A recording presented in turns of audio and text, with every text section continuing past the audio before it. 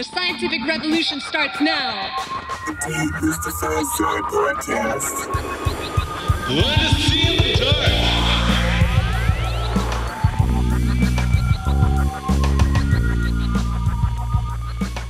I've just published a book, Göbekli Tepe and Karahan Tepe, the world's first megaliths by Wooden Books, published in October 2023. And I've been researching this for like 20, 25 years, just the megalithic sites around the world and the mysteries associated with them coming in from several different angles, um, you know, such as who built them, why they were built, uh, their true purpose, the archaeoastronomy, the, the strange energies that have been recorded at them, and things like this. So, uh, there seems to be a lot more to them than meets the eye. So it's one of the um, reasons we set up the Megalithomania conference back in 2006, which takes place in Glastonbury every year. Also, we run tours. Um, we, we do another conference actually in, in uh, November called the Origins Conference in Wiltshire, and that focuses on like the deep origins of civilization, where where we all came from, things like this. And um, yeah, we do a lot of exploring. My partner and I, um, JJ Ainsworth, my partner, and her daughter. We we travel the world uh, on our own, but we also run tours to fund our kind of research and explorations. Very cool. And what's the what's the most pressing subject that you're investigating at the moment? It's, it's got to be what is happening in southeast Turkey um, with the sites like Göbekli Tepe and Karahan Tepe, but also you know there's other sites. There's like ten other sites on top of that, possibly another twenty or thirty, to be honest with you. But what's coming out of there? I mean, this is astonishing because this is like a time of um, exploration. This is a time of discovery. It's like going back a few hundred years to ancient Egypt or, or the Maya lands, the jungles of Mexico and Guatemala when they were first uncovering these sites. This is literally what is happening in southeast Turkey. And I'm amazed it's not much bigger news, to be honest with you. I think it's going to just explode in the next few years when people realize the significance because we're not just talking about the era of the Maya, we're not talking a few, few hundred thousand years ago. We're not talking about the era of the Egyptians, which is what five thousand maximum years ago. We're talking nearly twelve thousand years ago. We're highly advanced, what I call a super civilization, quietly existing but buried under the ground for all this time and no one knew about it until literally the mid 1990s so all these civilizations and cultures have passed through this area of southeast turkey and no one even the, the Sumerians, the Hittites, the Christians, anyone, no one knew it existed. They just walked all over it, didn't even know it was there because these sites were deliberately and very accurately covered over um, before they, you know, completed, you know, finished using them basically. Um, so they've not been part of history. They're just sort of little legends and myths you can kind of pick up on, even biblical stories.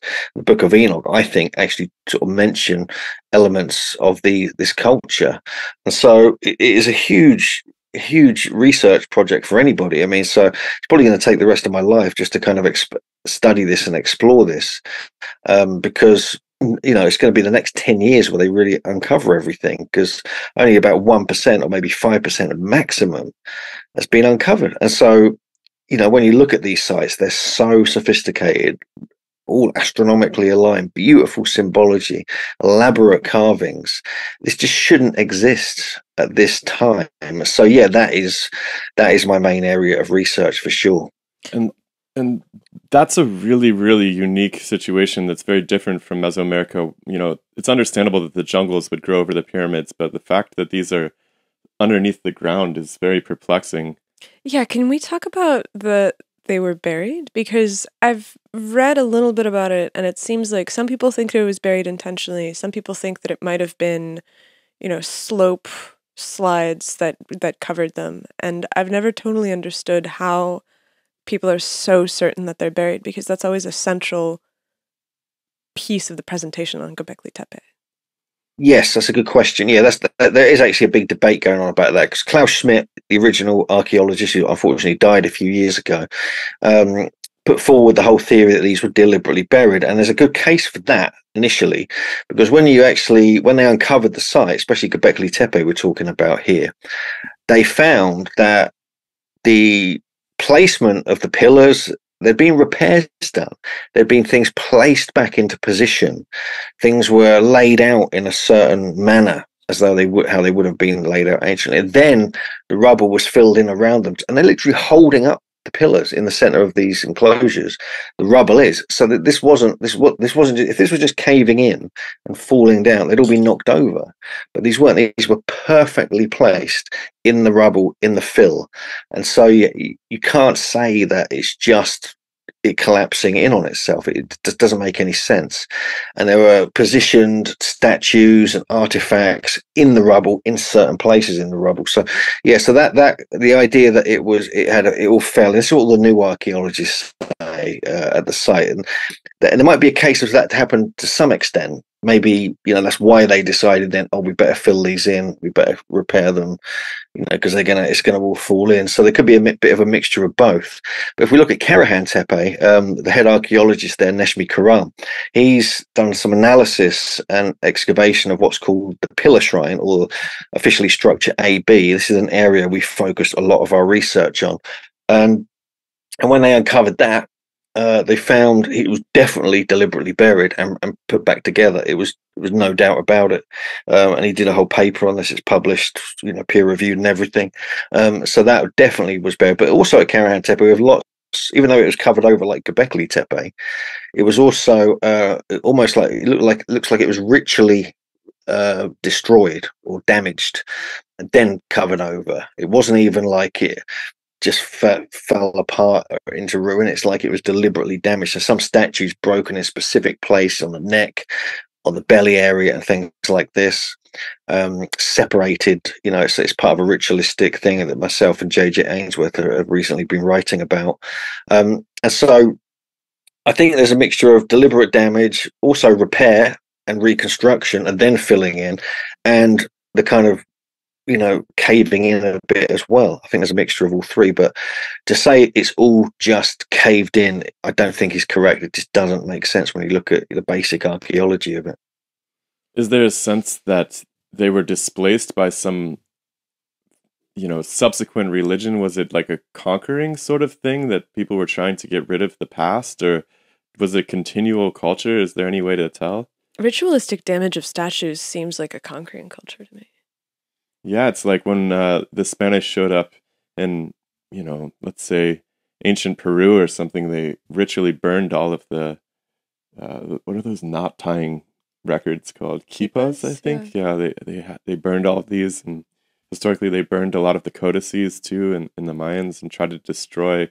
You know, they saw them as threats, as idols, right? As and like pagan. a lot, a lot of the statues that you see in museums in Europe, they have their faces smashed in and I think that that's the from, Egyptian ones even yeah. yeah like I think that that's from a conquering force coming in and wanting to deface the old ways there's there's there's a, there's a case for what you're saying uh, uh in in some parts of these sites, perhaps, but there's also an element of why would if, if that's the case, why would they go to the level of reconstructing, repairing, uh, putting things back in place, and things like this at Göbekli Tepe, it, and and play you know even at Karahan Tepe they place these beautiful stone plates and artifacts on back on the benches, and they were found like that. Some of them were broken like then placed on the benches. It looked like you know they weren't broken because of the rubble on top of them. Uh, it's the same with the, the new statue that was discovered, the seven and a half foot tall statue that was broken in three parts at specific places. And there seems to be some kind of skull and head cult as well, which because you find all these heads broken off the statues, but they're both preserved as well. Um, so it's hard to say. I mean, the fact that they would, I mean, if, if, there was an invading force coming in, the amount of time it would take to fill up Göbekli Tepe, um, they'd be overrun before anyone, before they had a chance to fill in a few meters of depth, you know. So they had time to do that. And then they decided to leave. I think. I think that's more likely if you look at the amount of fill they had to do because you know you can't rush that. It wasn't rushed, um, and even at Karahan Tepe, the pillar shrine was perfectly preserved. Yet the statues in the main enclosure, some of them, not all of them, were damaged. Some were in perfect condition when they were found. Um, and placed and embedded into the, the walls or the benches or the rubble. Um, so there's it's a bit confusing to be honest with you. Know, I must admit it's not it's not straightforward as you think. Why they left is a whole different story. Um, it could be. Uh, I mean, you got to think these sites were in use for nearly two thousand years in some cases, and so they must have had a very good reason. It could be literally they used up um, the supplies, the land, uh, the soil, because they developed agriculture after they constructed these sites. Um, or they there was some kind of cataclysm. There's theories about this, and they, they were concerned another cataclysm might come. Or there's even a new research theory which I've been introduced to, which I can't say much about yet, about the magnetic field became so thin and weak at that time solar radiation was actually uh, getting in too much and it was causing harm and, and, and, disease and cancers and things like this. So they had to move on um, and try and find a different location where this wasn't so bad. So there's different ideas about that, but I don't I, I don't know about the the invading army type thing. Doesn't doesn't make sense when you look carefully at the amount of time it would take to repair and fill in these sites. Yeah, and of course you'd wonder who that invading army was. You know, the, you would expect that they would, whoever they were, would leave a record of, of having conquered somebody. Yeah, do we have bodies? Yes, yes, there are skeletons. Yeah, there are bones and skeletons. A few, um, very few have been found. Uh, I actually saw one recently at a brand new excavation at a site called Sayburç, which is one of the sites. Eleven thousand years old. This site, uh, beautiful, beautiful site. Uh, they've only started excavating it recently, so there was burials inside one of the enclosures that we actually saw. And uh, but even in Karahan Tepe, they found human bones and skulls and things like this that we think, um, but only parts of them were found, and they were placed in these circular kind of pits in the main enclosure. We know at Karahan Tepe they were burying people under these smaller square structures which the new archaeologists claim are domestic structures, although we believe they were more um, like mini ritual structures for pilgrims. And um, because they also had T pillars in them, but they also found skulls with drill marks in them and scraping on them not long after death. So there was some kind of skull cult, or they were stringing up skulls. There's holes in stuff. They could have put string through and, and hung up skulls as part of this kind of ancestor worship or death cult, skull cult. We just don't know. We don't know what they were thinking. We kind of there's actually images on some of the statues, like Pillar 43, and another one found in Enclosure D, where there's actually a body and then a head separate from the body as well. And so and we also find, like I said, the statues with the heads separate from the bodies. Uh, we find um, these this site and, and, probably a couple of others as well. So, uh, yeah, they have found human remains. It's, it's definitely a thing, but not much research has been done on it. Um, but um, it seems like only a handful, you know, a few, maybe a couple of dozen have been found so far. And is that part of the reason that it's considered to be a site that wasn't inhabited, the lack of skeletons?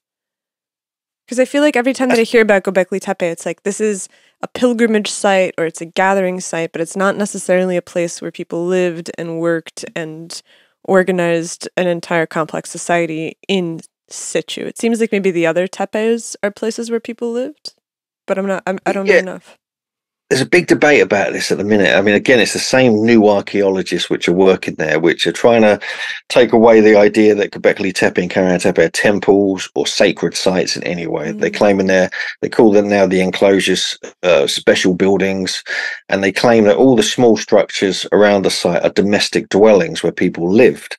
Um, now, and this is what they're pushing. This is their agenda now. Okay, uh, but we don't well, we don't know. It just doesn't make sense to us because because I think as well it goes against what Klaus Schmidt said, and these new archaeologists want to stamp their authority on I it see. as well. Um, but we don't know. They might be right. They might have they might have discovered things we haven't seen yet because they don't they don't give away too much. They don't let you see much of the site at Göbekli Tepe. They try and keep it secret. Don't want the public or other research alternative researchers to see it and things like this. And um, Schmidt was the gentleman who did all of the initial work on the site. He was the main guy, yeah, Klaus Schmidt, yeah, German Archaeological Institute. He was a legend. I mean, we met him a few times. Um, 10 years ago when we first visited there very very intense, but also a very nice gentleman who let you have a look around and tell you all his theories. I mean, he's the one. He actually told me and Andrew Collins when we were there once that he believed that they're going to find that this site is fourteen thousand years old at some point because there's there's other areas we think are older than the ones that have been excavated. It's only about five percent has been excavated so far, if that. But you know, so to me, I'm not convinced they're domestic sites. That's just my view. Um, but there might be more research that proves that out because they found that all these square kind of or rectangular kind of buildings that you kind of enter through the roof or through the, the sort of side of the roof. Um, but all of them have got these small benches on one side with a a T a small T pillar in it. Most of them have, not all of them, most of them. So that's strange. If these were domestic sites, why would you have uh, a T pillar, which is probably a sacred object, inside it. So this is why we, it doesn't really ring true for us. I mean, if you've got big T pillars over there, like all these things, like why do you need one in your domestic dwelling? It doesn't make sense. But if it's a pilgrimage site and you're going there to do things and it's part of route you take around, you know, looking at, you know, these different places, maybe had sort of um different meaning to them, what it meant, what pilgrimage meant. You know, we just do it from our perspective. It May not have been all sacred. It might have been a kind of a continuation of this hunter gatherer lifestyle they wanted to maintain. We don't know, moving about a bit. There's loads of these sites all over the area, over 124 mile uh, region. Uh, so they call it now Tas Stone Hills Project. Um, and so I believe that it sounds more like these are pilgrimage sites to me, and people will go there because there's no water source near Göbekli Tepe. There's no water source near Karahan Tepe at all. They have to collect water and harvest it and use it. So if you've got hundreds of thousands of people living there, you're going to suffer in the summers. It's just not possible to survive. There's not enough water. Whatever you do, unless you're bringing it up for miles from the river, which is several, you know, 10 miles away. At Karahan Tepe, it's 20 or 30 miles away. Um, wow. And so we don't believe that people could have really, a lot of people could have lived there. Maybe a few people could. They knew how to survive. But we found evidence of migrations coming down from Karacadağ Mountain, which is the main mountain where einkorn Wheat was first uh, created. That's just 60 miles north of Göbekli Tepe. And they would come down, there'd be this route during the winter. They'd come down and move the animals around uh, for breeding and things like this uh, where the water would have been collected. Gazelle hunting was a big thing in the late summer and autumn, and they would collect all that. And in the winter, they would go and visit these sites to do ceremonies and stuff. And this fits in with our winter solstice discovery at Karahan Tepe as well. But also, there's um, you look at there's other types of sites like Navali. Uh, you've got Yan Lahoyak, which hasn't been excavated yet, and you've got uh, Çayönü up near Diyarbakir, for instance, that's further north. Grifa Kortik Tepe, all these are further away, but some of them are, but they're they've all got water sources, either streams, rivers, or uh, or, or, or kind of natural springs. You know, and that's where you can clearly see what domestic dwellings all over the place with one or two temples there, one or two T pillar kind of enclosures you can clearly see the difference. There's a massive difference. Whereas Göbekli Tepe and Karahan Tepe, there's multiple temples, and so there's and there's no water source. So you know, there's you know, it make it's pretty logical when you start looking at it. What what what was going on? Is there a sense that the like, can we imagine what the climate and the landscape were like back then? I mean, things must have been radically different twelve thousand years ago. So uh, I was just looking at the terrain around Göbekli Tepe, and so my favorite thing to do is to see uh, old lake beds on terrain maps. And it really looks like there was a massive lake that was around Göbekli Tepe. Like, because Göbekli mm. Tepe is on mm. this, basically, it's on this like set of hills. And then directly to the south of it is just a gigantic flat plain. And we live in the Pacific. You're talking about Harran, Harran Plain, you mean? Yes. Yes. Yes. Yeah. yeah. And so is there any Harran- sense of like when that was last covered in water? Yeah, well, no. I mean, there's it's difficult. I don't not that we know of. I mean, springs in Şanlıurfa. Uh, you have that uh, in Şanlıurfa city, and that's not far from us. Only twenty miles from Göbekli Tepe. Um, so that would probably feed what you see in Harran Plain as well. Um, but no, there's no uh, in the Tek Tek Mountains where Karahan Tepe is no water at all at whatsoever. Even the limestone doesn't preserve and hold the water very well. Um, we've looked into this quite a lot. Uh, you get grass, grass is growing around there, but directly around Göbekli Tepe and Karahan Tepe, it's dry mountain limestone. It's, uh, with a few basalt outcrops. Um, uh, for the Harran Plain, there probably was. I think that's got several springs, like you get in Şanlıurfa. Um, there may have been lakes there, but I don't think it was one big lake. I've never come across that before. Um, but you know, you know, we don't know. We're not sure. Um, but I don't think so. I mean, but certainly, I think there was water, but it wasn't at right any. And also, Karahan Tepe and Tepe are, are higher up. You got to climb up there. It's not like it's just by the side of the you know route you're walking on. This is you got to climb up. This is like a It's- job to get up there. Well, it's really interesting because we were uh, talking to George Howard about uh, the Tal al Hammam airburst theory. And so this is basically the paper that got published in Nature, which is like everybody's really upset about it because they mentioned Genesis right in the abstract, where they're like, hey, this probably was the city Sodom in the Bible, and we can show that there was this massive airburst during the Younger Dryas. And so we were talking to him about it. It was, I think it was much later than the Younger Dryas. Was it? Yeah, like Oh, Tal Hammam was much later. Much, much yeah, later. you're right. You're right. I'm sorry. but But the point was is that we were looking at a map, and I was like, "Hey, I think that there was a body of water that was between the Sea of Galilee and the Dead Sea at some. And both of them, Shilo's always making fun of me because I see lake beds everywhere, and both of them were like, "Yeah, I don't know about that." And I reached out to some guy who studies the archaeology in the area, and he's like, "Yeah, there definitely was about twenty thousand years ago." Which is like off the off the timeline, but I just I feel like the Randall Carlson's popularization of the Missoula floods story has really changed the way that I look at landscapes because living in the Pacific Northwest and walking across those landscapes, you can see the marks of the water.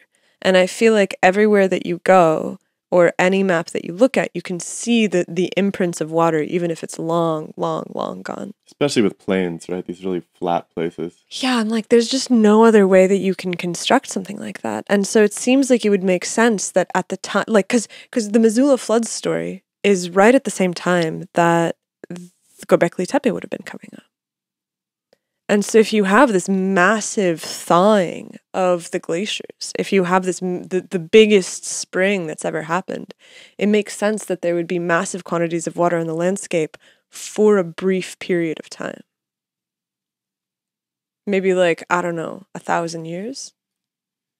But I don't know. That that I think it sounds like you need to go there, investigate this, and uh, and tell us basically. That's that's what it sounds like. It's on the map. It's on the map.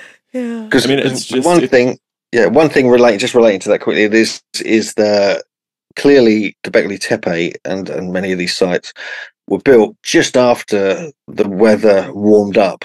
You know, big time. You know, like literally within a hundred, couple of hundred years. It's about nine thousand eight hundred BC is when the kind of effects of the Younger Dryas were supposed to have stopped. Um, things got more, you know, habitable and this is when it all kicked off. It all kicked off, but but there was actually sites, as we could we could talk about this if you like. They were older. They were in the ice age. They were in the younger Dryas as well. Even near Göbekli Tepe, there's a site called Chakmak Tepe, for instance, which is about a thousand years older than, or a bit less than a thousand years older than Göbekli Tepe. There's several sites up near the Tigris River, which is further to the north, sorry, further to the east and a bit north as well. In some places, like uh, like I mentioned, Kortik Tepe, Çayönü, and a very interesting site called Boncuklu Tarla as well, which are older, uh, up to a thousand, thousand and a half years older than um, the sites around the Euphrates, like the Göbekli Tepe, Karahan Tepe, and all those sites. So there's, um, yeah, there's a lot to think about. You know, a lot to kind of piece back together from that era. Well, there must have been something desirable about that particular climate at that point, right? That doesn't seem obvious today because if you look at it, it's almost Dust Bowl conditions right now. And it and there must have I mean, do we have a sense that it was forested or how No. different was it back then? It wasn't no, it wasn't forested anywhere near Göbekli Tepe and Karahan Tepe. I know that for sure. We've looked thoroughly looked into that. Uh, grasses, on the other hand, yeah, you get natural grasses growing um, in the area. You get kind of small trees, you know, small kind of uh, bushes and things like that. Um, into the Harran Plain, you get uh, more more grassland, more growth. up at the Karacadağ Mountain, you get more there as well. But once you st- get getting close to the rivers, it all starts, you know, it all starts happening. Um, but that's one of the issues with um, how it seems like it was a really difficult place to do this. You know, Mm. this was so unusual. I mean, because you know, if we look at Karahan Tepe, the Tek Tek Mountains have never had any natural water. No, even the, there's no underground water there. Apparently, it doesn't hold the water well. The type of limestone there, um, and even you know they, they built all these kind of wells, almost like bell-shaped underground things all over the area of the Tek Tek Mountains, near Karahan Tepe as well, where they collect water and, and kind of keep it. Even little pools they've created there as well.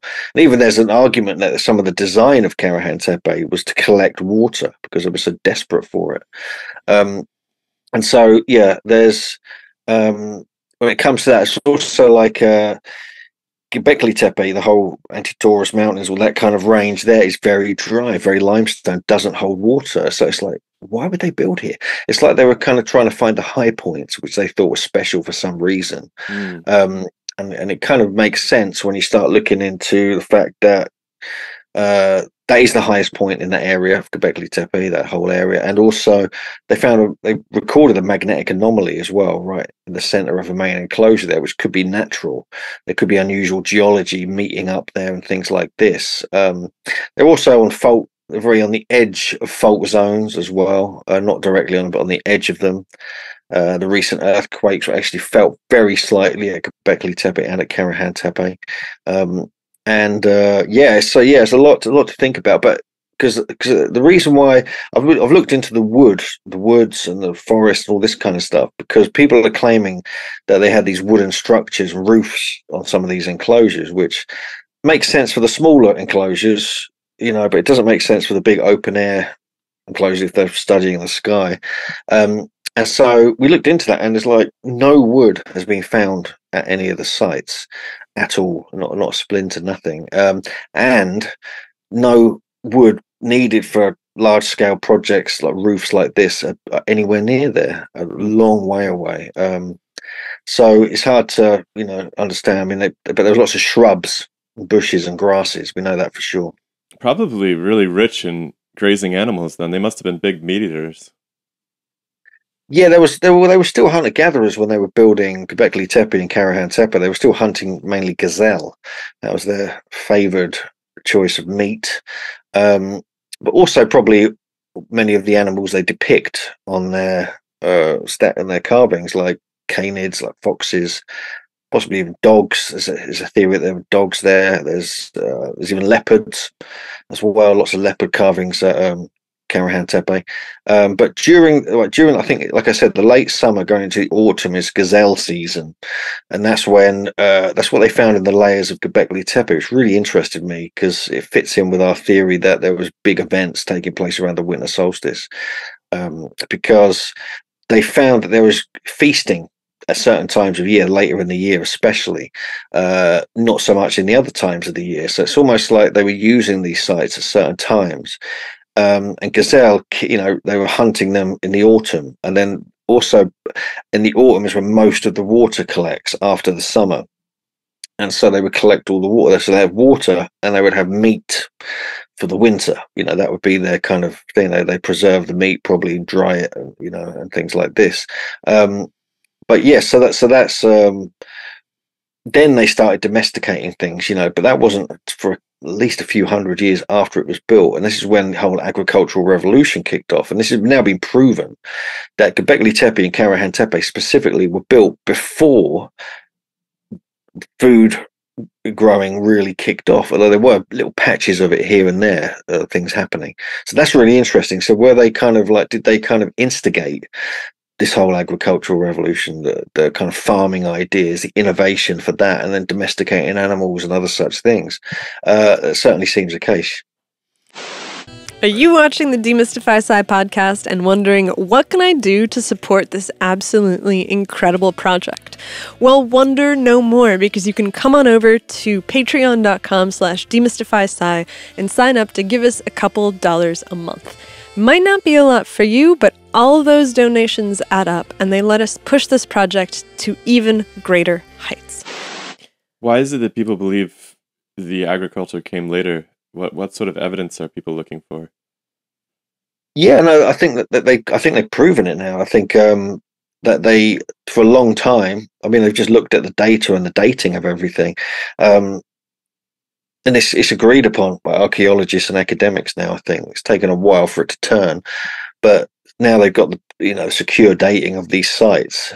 What Um, sort of what sort of artifacts are you looking at? Like plows and things like that. What what would you expect to see for agricultural society? Well, they found like something like ten thousand grinding tools at Göbekli Tepe, uh, bowls, uh, different types of um, uh, stone artifacts where they were preparing food like meats and grains. Um, so this is not another reason they think it's domestic site. But these weren't at the early stages of Göbekli Tepe. These these were in the few hundred years afterwards. Um, so it, be- it became this rather than built for this. Um, and, and the same thing could be said at Karahan Tepe as well. So that's pretty much that's pretty much that. I mean, but I mean, for a long time now, they were they claiming that agriculture kicked off the whole build all these building projects, but now they're saying it's the other way around. Um, that th- these instigate like like it's almost like religion, and the, the building of these sites, these temples, these what I think they're memory spaces as well. I think they're, they're much more than what people think. The astronomical aligned alignments were being taught there and things like this. It was a center of innovation and uh, you know experimentation. I believe they were working you know with um incoming people you know with different ideas. And this is and they had to there's so many people getting involved because these are major construction projects that they realized we have to we actually have to provide food for these people. How are we going to do it? And so one thing as well, which is a big debate, which I, I find quite interesting and amusing, is that there's evidence of beer brewing or some kind of beer gruel type thing being brewed at Göbekli Tepe. They've even found evidence of grape wine at Kortik Tepe up on the t- uh, Tigris, which is much older, a thousand years older. Um, and so they might have been doing it for beer you know, everyone's getting together, giving them some beer and some food. You know, the, it's just like a beer gruel. It would be like feed you and you get a little bit drunk, um, uh, and that would be like camaraderie. Guinness. Let's decide. Let's all do this. You know, then you can move on. You know, and things like this. So there's there's that Well, I debate. know that in having the Sumerian clay tablets, they actually uh, are assessing how many mugs of or how much beer they're going to need to give the laborers. There's like a calculation of payment, and it includes beer. So Yeah. it doesn't seem too far out of. No, it, it makes a lot of sense. It's kind of got a logic to it when you when you think about, you know, going to put you into a slightly altered state. They've never had beer before. They don't know what it is. It's a new thing. It's like, oh, you know, it's like let's have some of that. Um, there's also like, you know, there's also like, um, I believe that um, that there was a, a much more shamanic mindset, and so they were, you know, trying to they were had an awareness. The elites did anyway. They had an aware awareness of plant medicines like psychedelics, um, especially as they started getting really into uh, you know, there's evidence of different types of cattle, you know, like bulls and different things, aurochs, and their dung is what uh, na- naturally, especially it would have worked in this climate quite well, uh, is what different types of psilocybin mushrooms would grow on as well. So they were probably accidentally having their mushroom stew, and suddenly like, uh, tripping the light fantastic, you know, by the end of uh, their dessert. So it's like, um, you know, you can imagine there's this kind of thing being incorporated into the whole um, sort of process of uh, th- these cultures. And after dinner one day, somebody had the idea for agriculture. But agriculture, in- would be in a- gro- in- yeah. Go. Innovation comes from like you know enhancing the consciousness. You know, this is like uh this is what they think. It's what Terence McKenna thinks uh, in his Food of the Gods and this big theory he put forward. Even beer alone can do this, alcohol can do this, but combined with these other things, um, it can actually develop. That's when you start developing communication and proper language and symbols and things like this. And this is sort of could explain the abstract art that we find at sites like Göbekli Tepe because the artwork there is not normal. It's abstract. It's like highly kind of artistic and precise and unique and very fixed. The, the, the style and template lasted solidly the same design spec for at least one and a half thousand to two thousand years, which is incredible. You know, so you know th- that that really intrigues me that you know there's something remarkable was taking place back then. Hey, how do you know that it lasted for a thousand years? If it's carved in stone? They found um, when they in the fill uh, of Göbekli Tepe, they found um, I think some some things I can't remember exactly what, but they found found some animal bones or something like this, uh, some organic remains um, in some of the late levels, and they they worked out. You know, after they'd done analysis on stuff they found at the very bottom level, underneath the pillars, underneath the lower parts of the uh, first walls, and they just balanced the two out. They worked it out pretty much. They could work out uh, the, the rough dating, which is roughly uh, it's slight, slight, slight different theories on this now. So the new archaeologists are trying to change it again, and um, but yeah, I think I think it's roughly two thousand years or eighteen hundred years they were, at least, and they haven't even excavated all the site yet. So let's let's consider that. You know, it could be earlier phases we don't even know about. And by abstraction, you mean like human figures with animal body parts or animal heads, Yeah. things like that. Whereas maybe earlier in the cave paintings and so forth, you just see pictures of animals as animals. You know, s- semi-realistic, actually quite realistic looking animals in some of these, you know, twenty thousand year old cave paintings and so forth. Yeah, no, it's true. I mean, there's a bit of both. I think. I mean, well, some of the Paleolithic stuff is is pretty crazy. I mean, it is pretty abstract. Some of it. There's a lot of strangeness there as well. And you know, but there, but Göbekli Tepe and Karahan Tepe it is another thing. I mean, it's it's like it's like it's highly developed and sophisticated when they decided to build it. That's what it seems like. They had a plan. You know, that's what it seems like. But maybe they didn't, and they just had these ideas emerging. So right, I've got to do this. Um, but yes, very odd. I mean, look at the, the central T pillars of Göbekli Tepe, right? They're pretty intact. They're like 18 feet tall. You got what? Most of that is an upright, thin pillar. Only like that wide. Um, you got a T shape on top, which makes it, it looks like a separate stone, but it's the same stone, but it's just carved to look like that. Nothing on it, completely blank. But it's got arms coming down the side with a belt with all these symbols on it, these abstract, almost like kind of computer generated symbols, um, H's and U's and T's and things like this, serpents.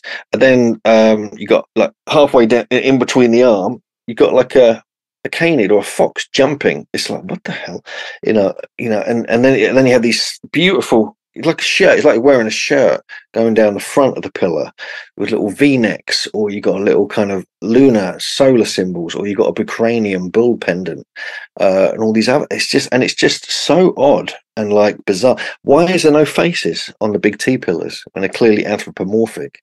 Why is there no legs? Why is it a thin pillar? Why not the shape of a human? There's other human statues have now been found. Uh, so why would they go to such extremes, such strangeness um, in their designs? Very abstract. Is there what's the sense about the structural importance? Like I know you mentioned that the wood wasn't there for a roof on these things, but is there a sense that there could have been like reed roofs that could have supported people on top or uh, because it's this very strange design like the T pillar just it it seems like it should have be holding up something else from an Yeah. architectural standpoint. From an architectural viewpoint, yeah, but you got to understand these were the first ever buildings on Earth, pretty much. So, you know, modern architecture because we developed that. Uh, oh, she's holding a pen up. Hang on for a sec. Um, I don't know if you saw, but they basically dug up uh, wooden carved beams that they're dating to 476,000 years ago In Africa. in Africa. Oh, okay. And so, like, they're basically in one fell swoop are like, oh shit, I think Like that it's actually. beautiful, beautiful uh, woodwork, right? I mean, we've added an order of magnitude onto the age of buildings on Earth with this discovery, which is really crazy. Yeah, because you got them. You got the mammoth tusk things up in Siberia as well, haven't you? Which is super ancient. I don't know Uh, those. What are those? Yeah, I, I, I can't remember exactly where they are, but They're uh, like they're te- on- they're kind of like teepee like things built Yeah. on tusks. yeah. What? I mean, they, could- they could. I mean, don't get me wrong. I believe um, they could have bought wood in. Uh, if people are coming in from all these different areas and they needed some, there'd be communication. Like you, when you come, bring a few. Get you get your boys to bring a few bits of you know a few trunks in. You know we need them this size, this that, and the other. And so I think there's a bit of that. But I think when you're looking uh, from an architectural point of view, remember these were the first proper. Okay, there were other structures, but these were the first stone buildings, enclosures, stone circles of this nature being made, really. Um, so, you know, the idea, I mean, I get a lot of debate about the, this roof theory, I've got to be honest with you. And it kind of, you know, the fact that there's no wood has been found and no wood existed anywhere near the site, I think is enough to say there wasn't a huge amount. The smaller structures is a different story because you can easily do that. And also the, the proof of all the astronomy now roofs will get in the way of that, you know, as well. And also, if you look carefully, you can see that there's little slots for all the stones to go in, and they could easily be held up if the slots were deep enough and things like this. Um, even even in the center, because I believe that the, the small shallow pits they're currently sitting in uh, were deeper, you know, and there was other things up around it as well. Um, and they may have had, you know, other things going on there because um, because if you look at the uh, there's no there's no clear evidence of because on the tops of the T pillars in the central enclosure there's lots of cut marks on them, but there's no evidence of beams of wood being on there. And these cut marks they thought were used to collect water and then collected for sacred purposes. So why would cut marks? What what has that got to do with holding beams up? And there's no wood, there's no scraping on them saying there was wood. They would because they would have been moved around in the wind and things like this. So there's no damage from the wood. I mean, there's three stones at Göbekli Tepe, and these are weathered, damaged stones that have little indentations going along the top length of the T pillars. And people have said, "Oh, that proves there was wood in them," but it doesn't because they were clearly carved later, and they may have decided to put roofs on them later somehow, or they may have been for water, collect water. Water would drip down and used in ceremonies and things and collected, and because it comes from the kind of tops of the T pillars, which they revered as sacred. So there's there's so many ideas and possibilities. If there's any evidence of roofs, I'd be fascinated, but there isn't. Um, and so the same goes for Karahan Tepe. If you go to other sites um, further afield, there's more evidence because where wood was growing. It was near water as well. Um, there were domestic places and things like this. Um, and you know the the types of shrubs and bushes that grew around the area they would be big enough probably to place over small the smaller enclosures and have the entrances coming in. That makes that makes a lot more sense um, when you start sort of trying to under piece it all together. Um, but yeah i mean if evidence comes forward that there were major roofs over everything that'd be interesting. But I've, I've got a guy called a friend of mine he's a graphic artist called kevin esslinger and he's been working with me and another friend of mine on reconstructing Karahan Tepe and if it had a roof on it and we've got some really good graphic and imagery and video of this. And we're gonna we're gonna build it up and, and kind of get it, you know, as close as we can to what we think it was. Um, but he did experiments based upon the winter solstice alignment as well that we discovered.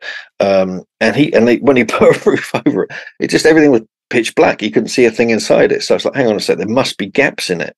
As soon as you start putting gaps in it, you think, well, what's the, how is that going to work? If you're trying to create a roof to stop weather, the gaps are going to let it in. So you can't have it pitch black.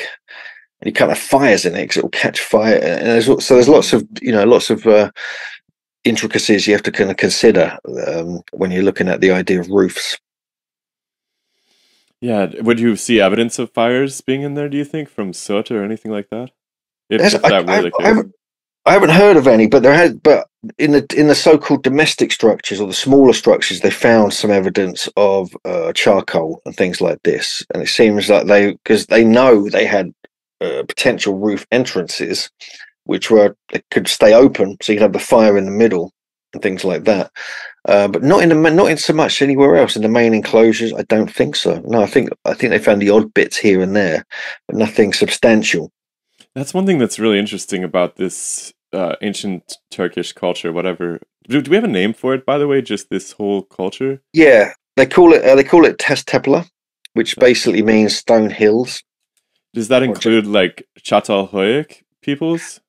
No, that's further. That's much further west, and that's okay. like two thousand years after maybe three thousand years after Göbekli Tepe. But they, there they are also have this same roof entrance thing, which I think is really That- that- fascinating. That's what that's what a lot of this is based upon. Yeah, yeah. But they've actually found wood there. You know, they've actually found it there. I see, I see. Oh, But I what, what that- this? I, what are you guys talking Well, about? at Çatalhöyük, Chateau it's Hoek. really interesting because it's like this complex of almost apartment-like buildings, and it's very clever because there's no doors on any of the buildings. The the only way you can access them is by ladders to the roofs, which is a really smart defensive strategy, I suppose. If you don't want people to just walk in your front door, you know, you don't need a security system if you could only get in through the roof. You just pull the ladder up at night, essentially. And uh, Yeah, yeah, Yeah. Are there are there obvious entrances on these Göbekli Tepe buildings?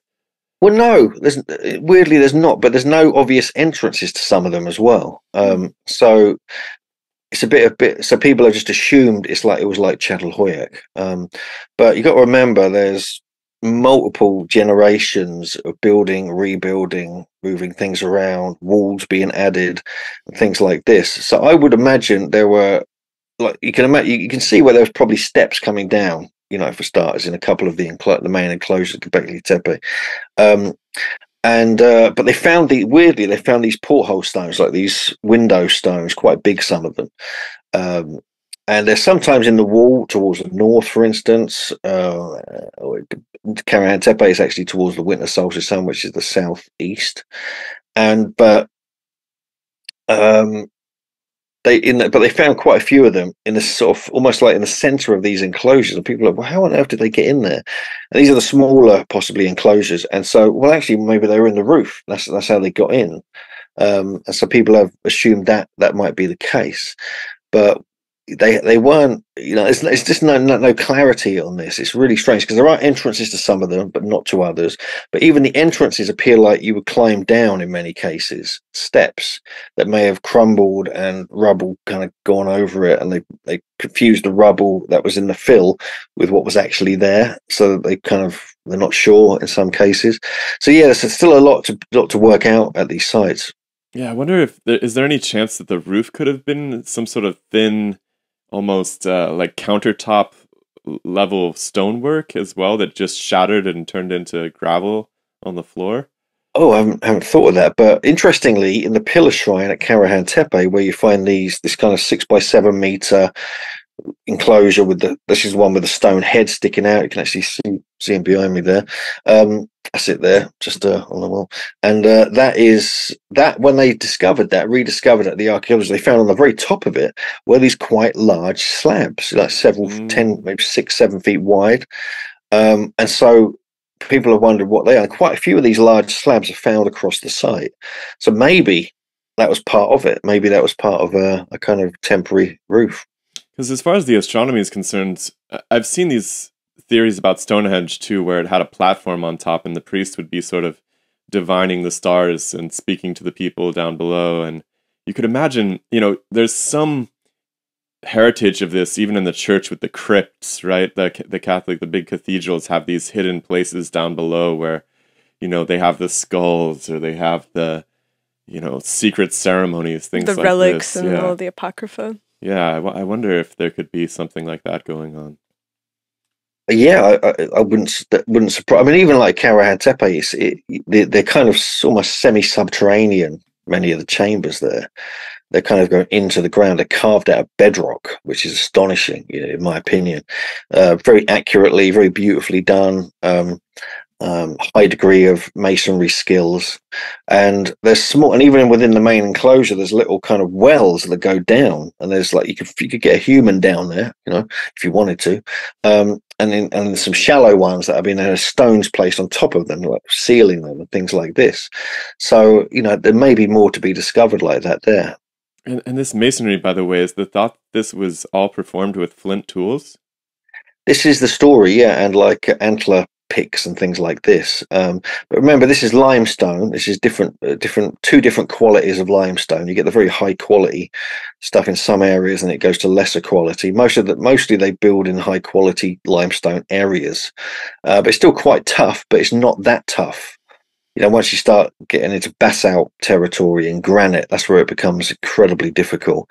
But they have found um, these beautiful stone plates, which really beautiful. They're like uh, something you find in ancient Egypt. They're up to like three feet wide, some of them, and they're different types of stone. They're beautifully polished. Some even have like indentations, like cut marks in the middle of them, and they're just absolutely glorious and beautiful. And these were placed, and this is how they found them on the benches at Karahan Tepe, in between the T pillars.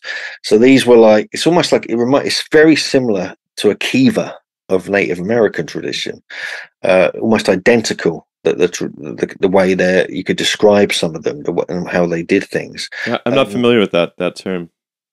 What's the key? It's like a sacred um, sort of subterranean area where ceremonies would take place mm. of the Anasazi and other other cultures in North America.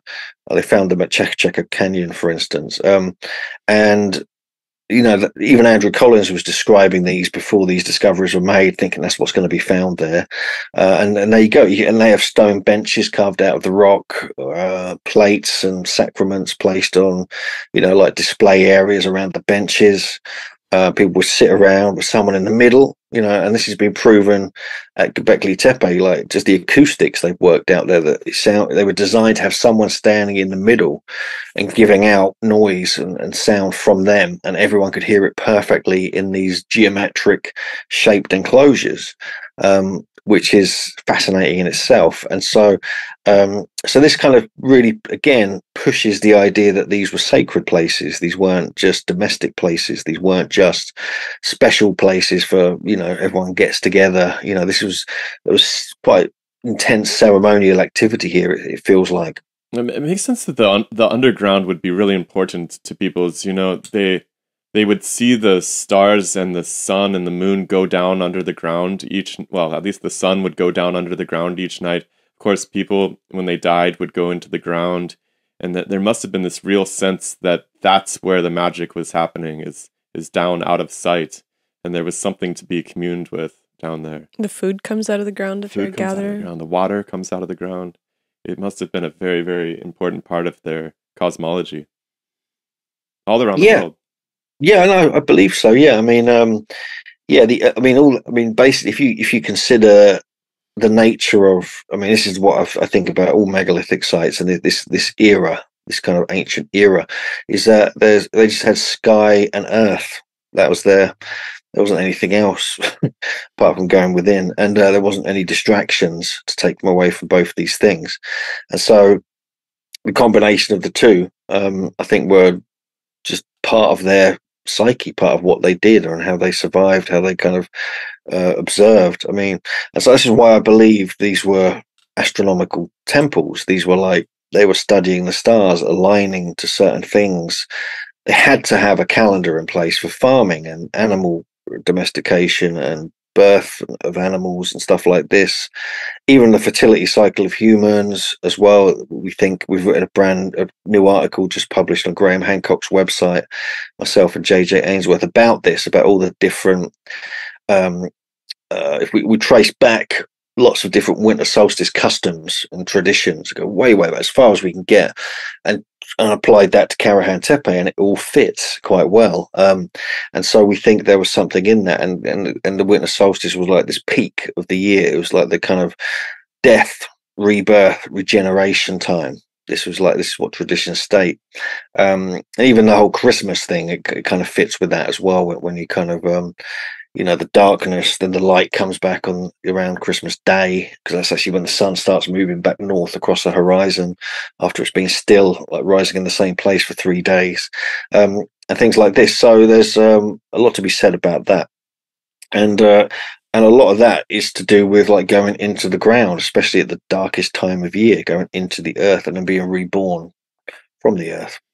And that rebirth mythology is ever present in so many cultures and I mean, an obvious offshoot might be the Mesopotamian story, the descent uh, into the underworld, and that's associated with Venus traditionally, I suppose, where eh, which seems to somehow reflect something very human too. This idea of you know, shit happens, you you're kind of cast into chaos, and then you you work your way out of it, and you're reborn somehow stronger afterwards. And there's there's this way that people I think were looking at the world around them as reflective of what was happening inside of them.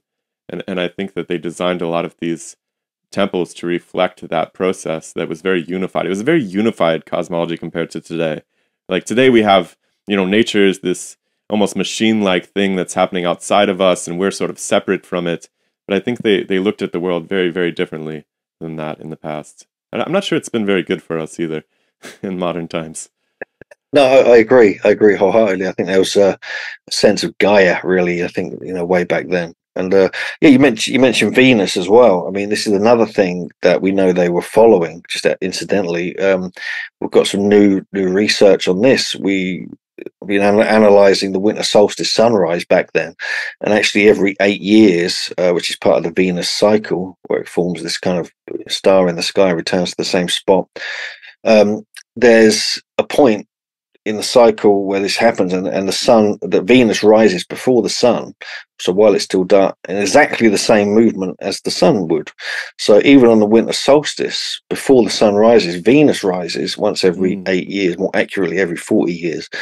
And it and it would be bright enough to illuminate the stone head inside the chamber like the sun does on the winter solstice. So they so they they were probably tracking larger cycles. And uh, venus is useful for tracking and, and resetting calendars and things like this.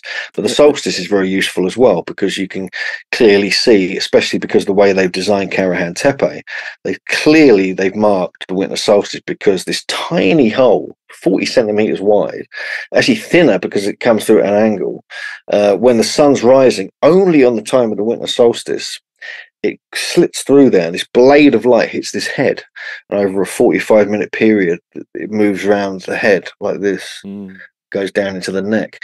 And um and like no other time of year it works. Uh, it's the only time it, it works and we've checked this over and over. We've been there several times on the winter solstice to, to check and double triple check this and archaeoastronomers working with us to analyze it what it was like back then which would have worked even better. Um well, and Venus, Venus does this very. This. Yeah, go ahead. Go ahead. Yeah, no, Venus fits in with this as well. This is what's so astonishing. And also, just while we're on it, uh, uh, there on the summer solstice, the moon follows the same path as the winter solstice sun. So the moon, when full around the time of the summer solstice, would illuminate the head through the, the hole as well. So you've got this double whammy on the the moon on the summer solstice and the sun on the winter solstice, perfectly creating this calendrical, probably the first megalithic site that recorded this on, on the planet um, as well. So it's, it's all these little things, and this is all part of. Um, I believe this was all being created for the development of calendars and agriculture at the time. This may have instigated it. This may have actually been part of the, the kind of thing that, that triggered it and got it moving.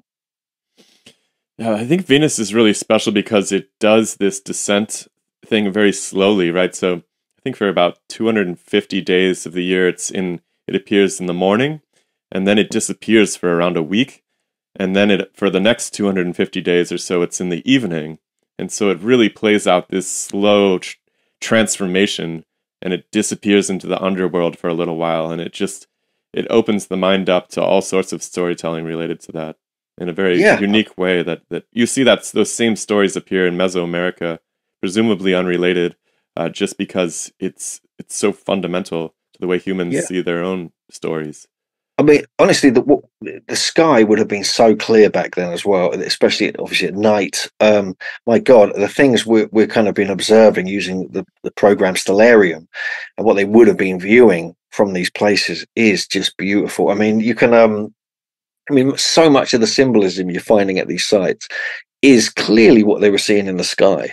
You know, clearly it, it must be.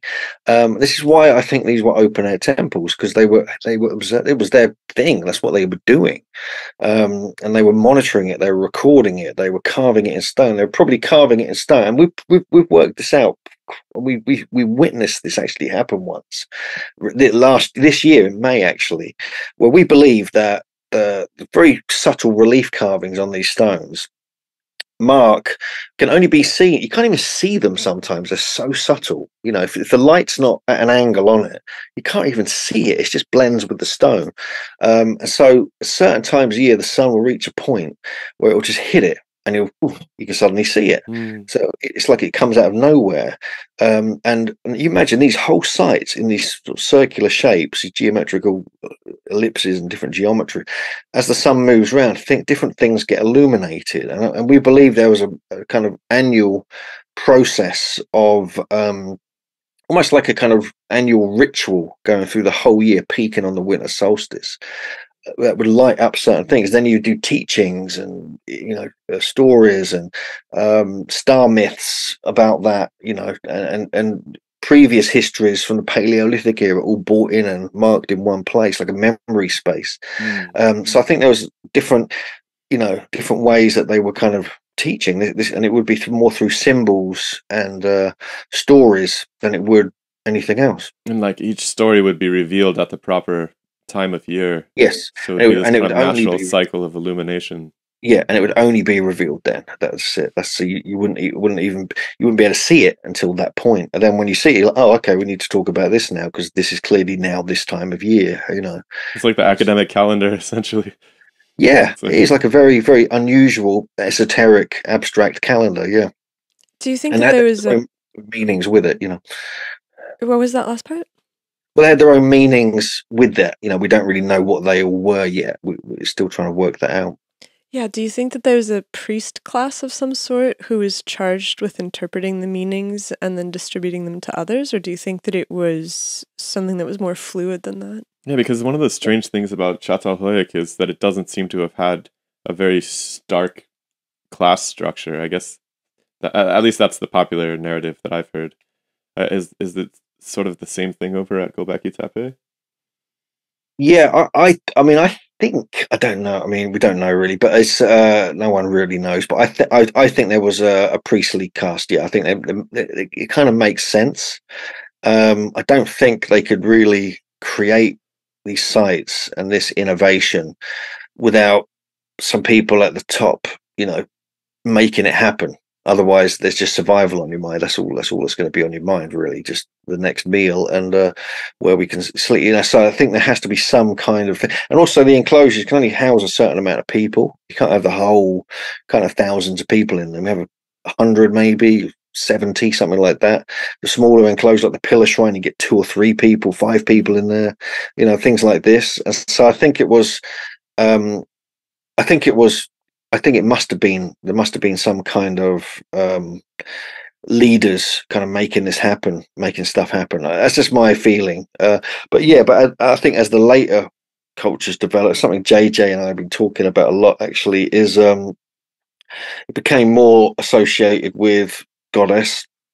We find some sites like Göbekli Tepe, for instance, which have very specific goddess statues have been found there. And this is when you go into the era of Çatalhöyük, which is a very much a goddess oriented culture. And that's where things changed a lot, I think, you know, around that couple of thousand years. As Göbekli Tepe and all that were being closed down, we think, you know, that's when stuff started changing and it went in a different direction. Are these the Uh, really the really well fed looking ladies that are? Yes. Yeah. Yeah. Those are really Yeah, and- interesting. Yeah, they're fascinating, and uh, you don't get much of that at Göbekli Tepe or Karahan Tepe, to be honest with you. But you do have more covert goddess symbolism. Something JJ Ainsworth is the expert on. My partner, who's I'm writing with at the minute, and like the cut marks are all over the sites, top of the pillars, all over the bedrock, everywhere. You have like there's a vulva stone we call it at the back of the site at Karahan Tepe, which is clearly shaped to look like that. There's only a couple of statues at Göbekli Tepe. There's the birthing goddess. There's one goddess statue holding a human head or a baby. We're not sure. Um, and one other small pendant. That's about it. Um, Karahan Tepe, the name of Karahan Tepe, the, the actual original name isn't Karahan Tepe, it's Keçli Tepe. And it was got changed in 1997 by Bahattin Çelik, local archaeologist who was did, did it, you know, to, to stop looters knowing where it was. But the, the area is still called Ketchley. There's a hill to the north still called Ketchley. Ketchley, K-E-C, part of it, as a feminine origin. It means um, uh, like, basically woman, daughter, maiden, queen. Um, it has slightly different variations in Kurdish um, as well. But also, like Göbekli Tepe means pot belly or navel hill, like a pregnant Mm. belly. You know, also Girê Mirazan means hill of the wishes and things like this. When people go, like women will go up there, give wishes for a good birth for fertility purposes. Uh, with the sacred mulberry tree, the wish tree, which is on top of Göbekli Tepe. So there's even the names of them have a kind of uh, the two main sites anyway have feminine roots. Well, that's the That's thing like- about that figure is it's it's unnaturally I don't know obese. I guess it's it's it it would take some effort to you would really have to dedicate a lot of food to one person in order to to get that kind of a a phenotype, right? It And I was I was just really hmm. struck by how accurate it looks, right? Because if you've never seen a fat person, I can imagine that you would kind of eyeball the way that weight would be distributed or the way that fat would cover it and kind of approximate it. But it, th- this was a figure that was on the Wikipedia page, and I was like, this is a stunningly accurate representation of somebody who's really, really overweight. Like the way that the body carries the mass is accurate. And to me, it seems almost beyond comprehension that they would have enough food. Unless they Oh, were no. like unless they were some sort of vestals, right? Some sort of priestesses that that were given, you know, that were plumped up like this. Yeah, yeah. What do you make of it? What is Well, I think it's. I think yeah. I think I think the yeah they were clearly special um, people of their culture, and I think uh, um, they were revered because this, that represented abundance, that represented vitality, and uh, you know um, just just largeness and, and vitality everything you can think of it's a, it's a positive quality. It's not like a negative thing like we see it today. It's just the way we interpret people who are, large people. I think there's uh, different different ways to approach that because they, you know, they may have lived just as long or longer than um, the other people at that time. We we don't know what it what it meant to them, but clearly it was something else. Um, but we do have a lot of statues. Remember at Göbekli Tepe and now at Karahan Tepe, where it's the opposite, where we see emaciation, we see ribs, we see what appears to be people who are not nourished in any Mm. way. They need nourishment, you know. So this went the other way a place like Çatalhöyük, it kind of turned a corner and went a different direction. And so, what what does that mean? What does emaciated statues? Loads of them, you know, Göbekli Tepe, animal on animals, on humans, everything. What does that mean? You know, how is how does that compare? I'm actually asking you because I'm not sure. How does that compare with the large figured ladies as well? You know, it's a, it's, a, it's something a- about fasting, right? That's really, you know, you talk about psychedelic experiences. I think one of the natural ways to achieve psychedelic states is by not eating for a very long time as well. And I, wonder if that played into the mystical relationship with the cosmos. And That's it. That's something Andrew Collins actually has uh, kind of pointed out to me a few times. Um, that he thinks it could be that. Actually, it's interesting you mentioned that as well because he sees it as a kind of a ritualistic, like a shaman. A shaman would do that. Know, go into the cave for a few days and you know not eat anything or drink anything to reach this heightened state of awareness. Uh, so that's one. That's one interesting thing. But what you know, firstly, why would you know that it's on animals as well. Uh, it's on different statues. So we, we've questioned that. We, we've considered that, and we're going to pursue that a little bit. But also, could it be a symbol of um, like a ritual thing where people are actually struggling to get enough food together as well? It's, it could be. It could be a simple, practical thing like that. So they represent that in their statues, and then they kind of would break the statues or bury them or something to hope for the opposite you know things like this we don't know you know we don't it's pure speculation here but yeah i mean i think what you said there may, may make some sense In terms of the motivation of building something like Göbekli Tepe and organizing all of these stones and having uh, celestial teachings and all of these rituals, it's a really complex series of actions that appear to come out of nowhere.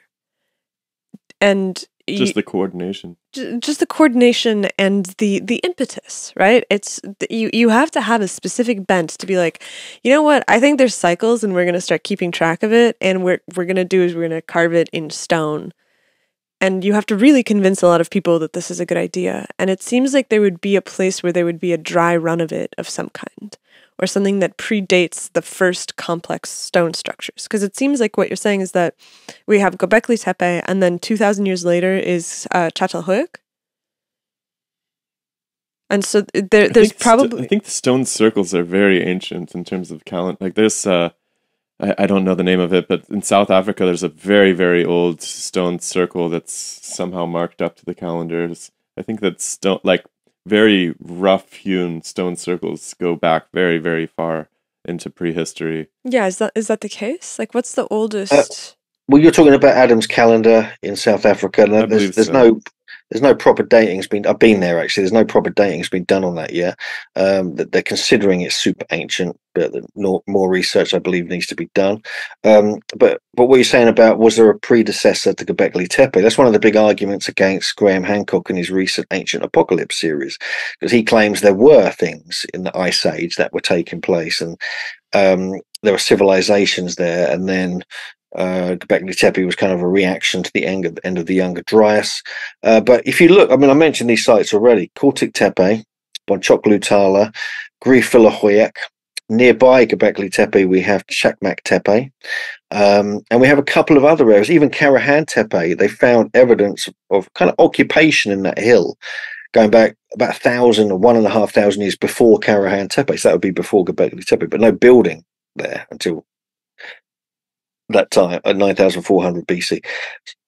But these sites up on the uh, Tigris that I mentioned uh, do have evidence of starting to live in one place, like kind of moving into one spot, you know, building small constructions out of mud, brick, and stone, living there with small temples there as well. At Körtik Tepe, they found these stone. You can almost fit them in your hand. These stone stones, basically, but on them are 3D. rel- They've carved it away, and there's 3D relief carvings of abstract animals and figures on them. Hmm. So this is, to me, that proves that at least a thousand years before Göbekli Tepe, they were experimenting with 3D relief carvings, and so they were doing that there, and they were experimenting with small enclosures and places to reside and things like this. So there is a development. You can see it. There is. There is. It's not just Göbekli Tepe came out of nowhere. I think now they've done more research and more excavation, they're realizing there was a lead up to that. And it also suggests that the people of the Tigris came down, you know, southwest towards the area of Şanlıurfa, where all these main Taş Tepeler sites are, and got things going, you know, and other migrations coming in from different places. So it's like a sort of meeting of minds, meeting an innovation area. And it all kind of kicked in when the weather improved, basically, after the end of the last ice age. And they realized, I think there was major hunter gatherer populations going back to Paleolithic times had recorded all their knowledge in oral traditions and landscapes as well. This is like the Aborigine um, songlines um, idea, and I think that these people were doing it as well. So they, they had they had memory uh, memory things in place where they could retain all the knowledge they recorded, including astronomical cycles. And so when they decided to stop and actually start, you know, putting this in one place, they bring on this knowledge and they they put it into stone. They would carve it into stone initially. They would have to do that uh, probably from the people from Körtik Tepe who could do that because they they were capable of carving 3D reliefs in stone. And so you know, we, so there's a you know just just just trying to piece it together here. This is kind of what what you know it sounds like took place. There's lots of different um ideas coming in from lots of different places with skills and it just happened it needed to happen there needed to be a place where all this knowledge that they'd recorded through the hunter gatherer uh, ancestry and lineages going back thousands of years that they've memorized they needed to put it into place because you know we need to be teaching this now we're going to be here let's just put it down um, and, and, and so on and so forth. Then probably the combination of uh, the accidental beer brewing and the natural psychedelics in the area may have inspired that as well. Are is there a sense that there's a, a big road network that's connecting all of these places? Because I know that even out west, I mean, obviously this is much more recent, but you can still see the traces of the Oregon Trail where the, the carriages passed and people walked and animals walked. And it's not like somebody built an actual road, it was just kind of cleared and compacted over time. Yes, there, there are. Yeah, there's. I mean, there's a lot of it has been built over, um, and a lot of it it's re- it's actually really hard to find it. I mean, because even in Karahan Tepe, you would expect there to be a route there, different places, but there's nothing clear and obvious that you can kind of uh, work out. To be honest with you, even at Göbekli Tepe, you, you know, you feel like you climb. You know, before they built all the roads there, you were just climbing up a rocky mountain. It was a bit of a nightmare. But apparently, there are routes. Uh, this was uh, put forward, I think, by this was before the whole Taş Tepeler project. Someone put this map of all the sites together and worked out there were possible routes through valleys between different sites, more or less straight lines, almost not exactly, um, but yeah. So that so there must have been because there was definite communication. There's no way you can. Um, you know, build Göbekli Tepe and all these other sites have the same design spec within them, unless there was, you know, communication and uh, traveling between these areas. Now, the Tigris has come up a couple of times. Is there any sort of connection between these peoples and the first peoples of Mesopotamia? Because the Mesopotamian culture is very, very strange. It's a language isolate, which has always perplexed me. It's, it doesn't seem to be related to the indigenous uh, peoples by, by way of language, at least. It seems to have kind of come out of nowhere. But it is built on this same, we're talking about the headwaters of the Tigris, I assume, up here is is there any sense that there was diffusion of this culture that that set up some of the seeds down there? Because they must have gone somewhere after it was filled in. Mm-hmm. Yeah, no, for sure. I mean, I, I think there is. I mean, there's, there's a long, quite a long distance between them, but it's the same landmass, the same rivers, um, and so uh, yeah. I mean, I mean, you look at. I mean, one of the things myself and JJ have been doing is l- re-looking at all the Sumerian stories you know, and realizing that they may something. One of the things, for instance, which is very, I believe, proves there's a connection, is that in their stories they talk about the great seven sages of Sumer, the Anunnaki, they call them, or Ananage, and or, or different uh, things, and they talk about them creating and building wooden and stone structures on the Duku mound, you know, up, um, and below this Duku mound is where they started agriculture after they had constructed these buildings and after they created these irrigation channels and after they created calendars then they started growing food and domesticating animals. So that fits in exactly with what science is now saying where the structures were built first and then they did all the agriculture uh, that's when it all began. So so there's a, a kind of I believe there's even some of the the stories of the creation of man, like with Ninhursag and uh, Ea Enki and Enlil and so forth. Um, they talk about like you know this male fertility, um, you know, being very prominent, especially with Enki and Enlil, and there's lots of male phallic symbolism and fertility symbolism at Karahan Tepe and Göbekli Tepe as well. There's also the story of Ninhursaga, the Lady of the Stony Ground, something JJ has been researching a lot. Um, and even the descriptions of her being like this birthing goddess, this mother goddess, this stony ground goddess, and um, fertility goddess fits in with some of what you know some of the symbolism we're even finding at Karahan Tepe. And so you know we could be just speculating and accidentally putting things together that aren't there. But there's certain things which seem to suggest that there are connections. And I think that there's, I mean, you look at progressive sites after um, Göbekli Tepe and after they closed all these sites down, then you have sites further south, like um, was it Tell Qaramel in Syria? You have uh, Jericho uh, down in the kind of uh, Palestine Israel area uh, and so on and so forth. And so I believe there's there must be a connection there. And I think uh, when you start rereading the Sumerian stories, you know, you've got to remember the Sumerians wouldn't have known anything about Göbekli Tepe or Karahan Tepe or the Taş Tepeler people because the stuff was completely covered over. So you know that the, they may have been recounting stories they didn't really understand or how this could have been where it really took place along the Tigris and the uh, Euphrates. It could have been anywhere along them because they go all the way up, you know, into like that part of Turkey. So yeah, so there's a lot of lot of debate about that, but I think I think there has to be connections there. Well, the interesting thing about rivers is they're kind of a one-way street. So the way that the crow flies, it seems like it's far away, but you can imagine it's quite easy to get from upstream to downstream and so they might have a lot of infusion of people's coming down the river, but not a lot going the other way. So you wouldn't be able to really investigate or speak maybe in one lifetime about something or have gone investigated it and come back. It might just be receiving a lot of of uh, you know even uh, even artifacts. I don't know even but at least stories, uh, myth- common mythologies. The the aurochs right also appears that the cattle the the bull is really central too in uh, in some of these Akkadian and and Sumerian deities, as far as I can tell, certainly in the um, the Canaanite traditions around maybe a little bit later, very very very central, and and so that's interesting as well. Yeah, you get you get the bull, uh, the auroch at um, Tepe. You know some of the later enclosures. Also at Cycle Sayburç on the panel that's been discovered there, um, and they got bucranium. You know um, pendants on the main T pillars at the center of Göbekli Tepe. You know, amongst other things, and so yeah, so that that, that symbolism is prevalent there as well. Are the Sumerians considered also to be megalithic builders? Not so much because megalith is just literally large, mega, large stone constructions.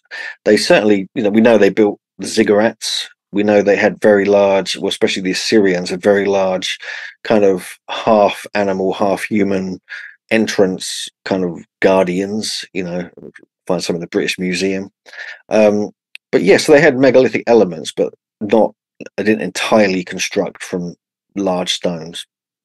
And you think that that's just a stylistic choice, or you think that that's a significant transition? No, I don't know. I think it depends on where you are. Um, I think because the Tek Tek Mountains and the, the mountains around Göbekli Tepe are very useful limestone. So you've got everything you need. There's not much clay to make. There's not much uh, wood. Um, so you know, the, I, as far as I'm aware, the Sumerians built with those uh, things because it was there. They were by the river, mm. plenty of wood available, plenty of clay and mud brick and things like that that they could uh, build with.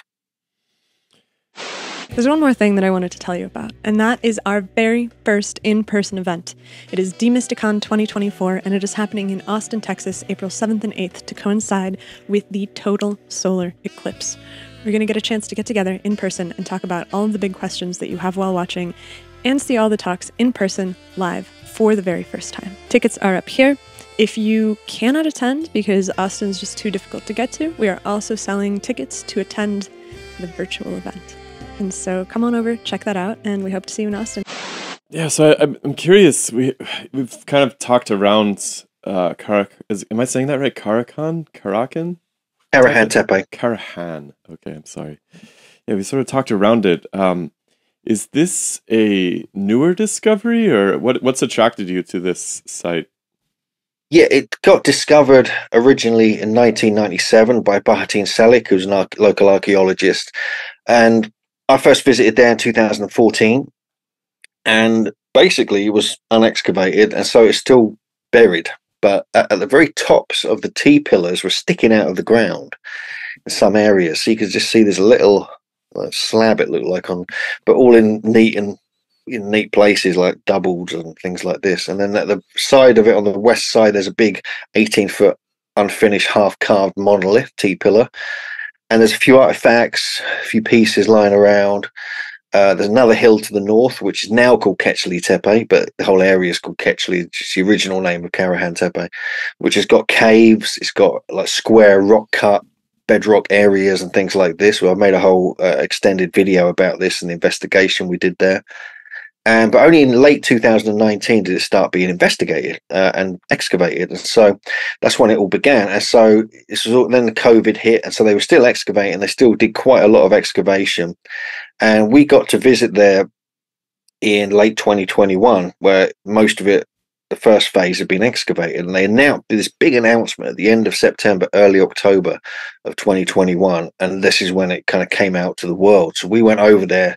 We tried to go there before then. We tried to go there in like October, but we'd already booked to go to Crete and things like this. So we made it over there in December, um, and we weren't really going for the winter solstice, but we we ended up being there exactly on the winter solstice, first thing in the morning, because we'd been told that they were closing the site down for a while on that day, so we thought we'd better get there early to make sure we actually see everything. And that's when we made this discovery of this winter solstice alignment, uh, which kind of blew our minds, which is the oldest one known on the planet, really. And um, but yeah, so it's only since really the last couple of years, maybe three years, it's actually been excavated ever. You know, so this is like brand new, and the main enclosure is about 70 feet or more wide. You've got the pillar shrine or structure AB. The main enclosure is structure AD, by the way. Then you've got structure AA, it's another sunken enclosure, and now they found all these other enclosures around it. And more up on the hill, actually, this year they announced a new discovery of some statues and a new enclosure up the top. Um, giant, you know, six six meter tall, uh, 20, fe- uh, 18, 15 feet tall T pillars and uh, this, these statues I mentioned. Um, but yeah, but a lot of this is actually carved out of bedrock, and the pillar shrine particularly is utterly unique, which has these ten kind of almost like phallic shaped pillars carved out of bedrock. They've drilled away the bedrock to the bottom, and then a freestanding like half a hole stone, like a half and kind of porthole stone. Almost like a half a serpent coming out, like five feet tall. Then with this big stone head coming out of the side of the western side with scales down its neck, with an open mouth, but his eyes looking towards the whole stone, which is goes out towards the southeast. Um, and so this is what the alignment of the winter solstice sunrise comes through, and it would come through the main enclosure between the two central pillars, which has all been quite badly damaged through the hole, hit the stone head on the winter solstice morning. Um, so this, and then they've realised that the whole area, the whole hill, in fact, and even into the valleys below, is the site. So it's huge, and they've only done a very small percentage, like one to five percent um, excavation so far. Who are the teams that are doing most of these discoveries at this point? Are they Turkish teams or are they international teams? Are they mostly academic? How, how do you even get involved in discovering these new sites? At Karahan Tepe, it's run by Necmi Karul of Istanbul University. Uh, it's a Turkish team at the minute. They have international students come in as well. Like Harbetsuvan, another site in the area, is run by a Japanese team. There's Sefer Tepe, that's run by a European team, I think from Holland and Germany, or Germany. And um, Tepe originally was a German Archaeological Institute project. They're still involved, but it's run by um, Istanbul University now, I think. Necmi Karul's the head of that as well. And um, and there's different groups coming in to analyze and study different areas. There's a Turkish team doing um, Sayburç. There's Catch sorry Çakmak Tepe. Uh, I'm not sure who's doing that exactly.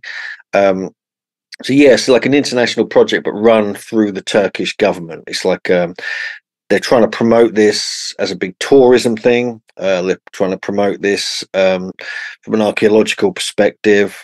They call it now zero point in time. That's their kind of tagline. Um, they used to have the, their, their tagline used to be the world's first temple, which I thought was great. I mean, that kind of worked for me. And so we actually borrowed some of that title from my book called The World's First Megaliths. Um, and we you know and and it's quite an amazing project. I just wish they would allow more access to sites like Göbekli Tepe um because so a lot of it's been excavated and they won't let you go there. And i, I want to i might do a campaign to push that to be open more and to you know try and to allow people inside the enclosures and things like this because they're very restrictive but also they're trying to preserve it at the same time because it's very delicately poised um you know, with extreme weather, it could affect damage things if they don't get, you know, they built a roof over Göbekli Tepe now. They're considering one at Karahan Tepe. Um, and um, yeah, the list goes on. I mean, and so many of the sites, many of the sites they're actually talking about haven't even started excavation yet. We've been to many of them. We've actually found, actually found myself, me and JJ found a, a chunk of a T-shaped pillar on the ground on a sort of random farmland at one of the sites that hasn't been excavated. So you had carving. We were like, what the hell? Why isn't this being taken to a museum or something? Um, we met the local mayor of one of the unexcavated sites. One of the, it's like a mayor of a village. You kind of get that there. And uh, he showed us all these artifacts they found. Uh, we even got access to uh, a hundred meter long cave carved out of the bedrock going down at a 30 degree angle, which is stunning. Uh, which I can't say where that is. It's uh, private property, but we got permission to go and investigate that. We're going to be going back there next year to analyze it and record it more thoroughly. Uh, but that is an engineering marvel in its own right, and it's right in the heart of one of these unexcavated sites. Um, Is there a sense yeah, that we- that's that's related to taking anything out of the earth, or was it? You think it was ceremonial? Was there any evidence of mining or anything like that? No, I don't. I don't think it's mining. I mean, the only thing that there is there is water. I mean, it's it's it's a spring in that area. Um, it's one of the few sites that has a spring right at the heart of it. it actually feeds at the pools of Abraham and everything. Um, and so that is interesting uh, in, in its own right. Uh, but no, we don't know. I mean, honestly, even the people there don't know. The locals don't have a clue. They, they just don't know who built it and when it was there. It, it was always there. Um, and it's right. The thing is, it's at one of the sites, in the middle of one of the sites. It's one of the huge sites in the area that hasn't even started excavation yet.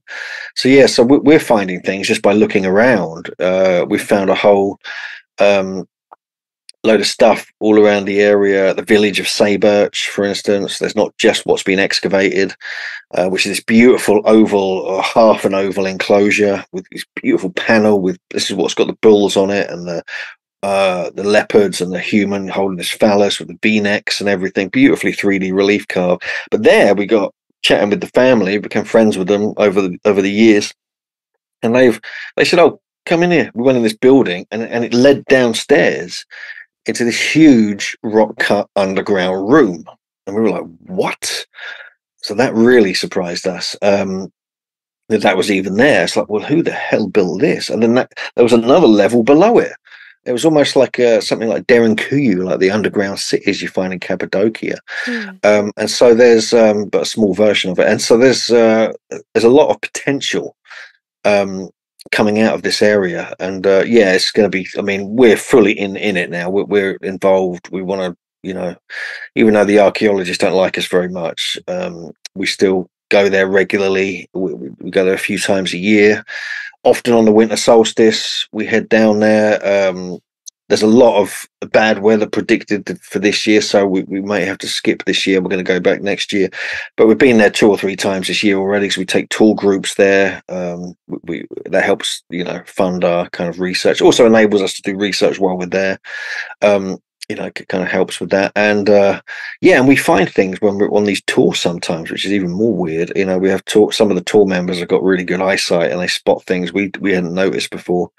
Uh, in fact, back in 2015, there was a bone plaque in the museum. It had just been put in the museum.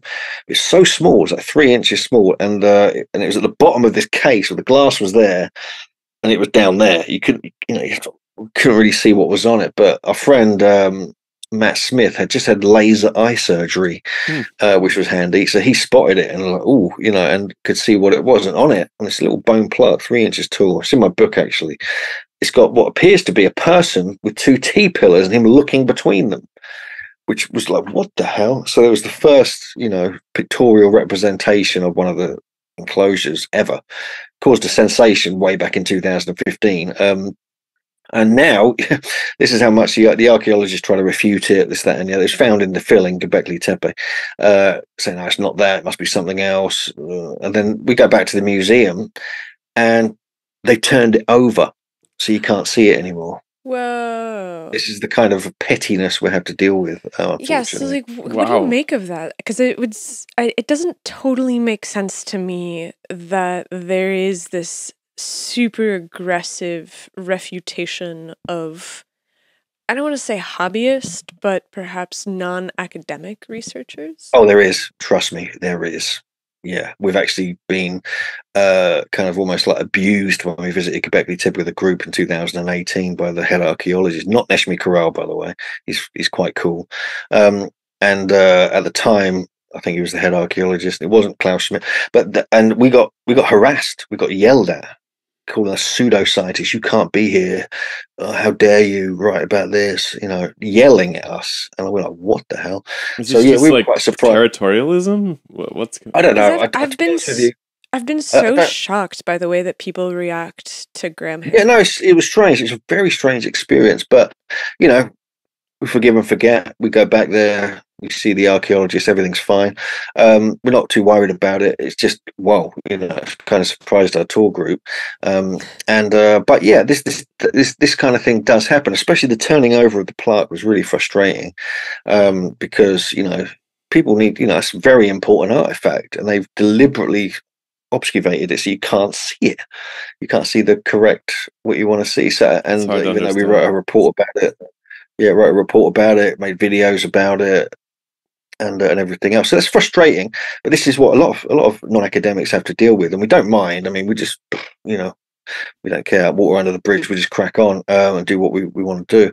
Um, but you know, thankfully, these archaeologists are doing great work. They're excavating. They're putting a huge amount of effort, money going into it, and you know, digging and teams working. Discoveries are being made, and it's it's being published. People can see it. Uh, most of it. So yeah, so it's uh, you know I, have got to give them credit. Um, and Necmi Karul is is doing a great job, I think, at Karahan Tepe. Um, I really I really like the way he operates and just gets things done. Uh, accepts you know weirdos like us turning up there, you know, whenever we want, random times of uh, sunrise or you know any time of year, and uh, and also you know we've got to know the families and the uh, kind of people who run the sites as well. We become very friendly with them. We're very generous with them and everything, and um, and, and we big them up. You know, we kind of you know do what we can to help them, and uh, yeah, it's a good it's a good thing. You know, but it's just it's the nature of I think um, when alternative non-academics are publishing books and articles and going on TV and doing podcasts about stuff they feel that it's theirs. Um, sometimes it rubs them up the wrong way, unfortunately. Do you think that there's something about the theories that are being proposed outside the academic landscape that is anathema to the academics? Is it something that's substantive, the disagreement, or is it?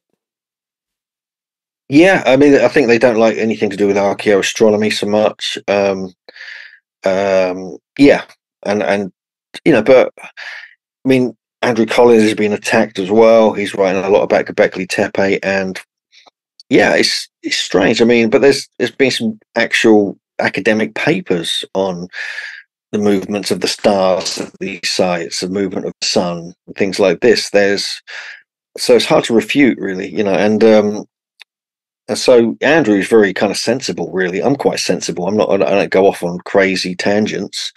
Uh, although we do go on a TV show called Ancient Aliens, which I think annoys them somewhat. Um, but we don't really talk about, we don't claim aliens built them or anything. You know, it's not our kind of agenda. You know, we're just fascinated by it and just want to work out what the hell was going on back then. Um, you know, we think it was a very sophisticated group of people who uh, were highly innovative and probably quite shamanic. Can we talk about giants? If you like, yeah.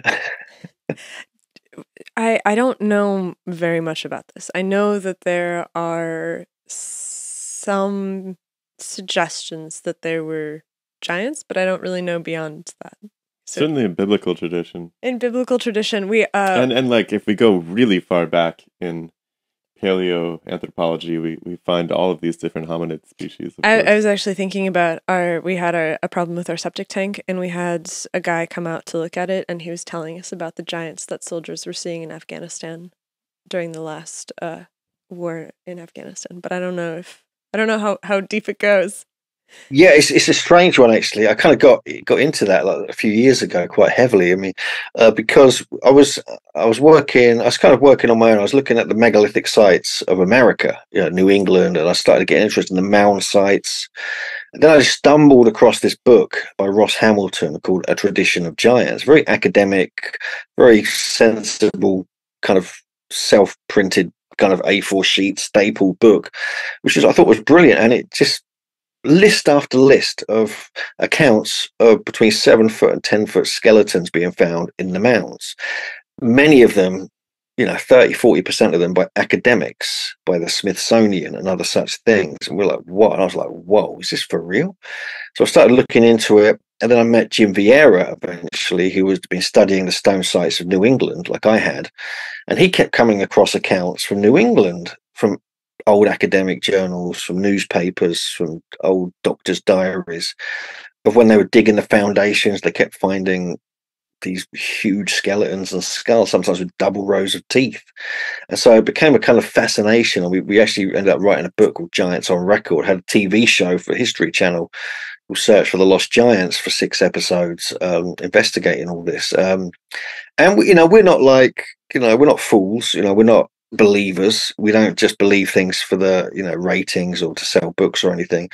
We genuinely were very, very interested in all these accounts that kept coming out, and especially because they were recorded by doctors, physicians. They're even in the Smithsonian's own annual reports from the late 1800s. There were 17 accounts of between seven and eight foot skeletons being found. You know, and then later the Smithsonian deny they wrote them, even though they're in their own books, um, which we have copies of, by the way. Um, and so there's things like that, and then then we dug into all the accounts and we found 1500 accounts from north america alone every part of the country.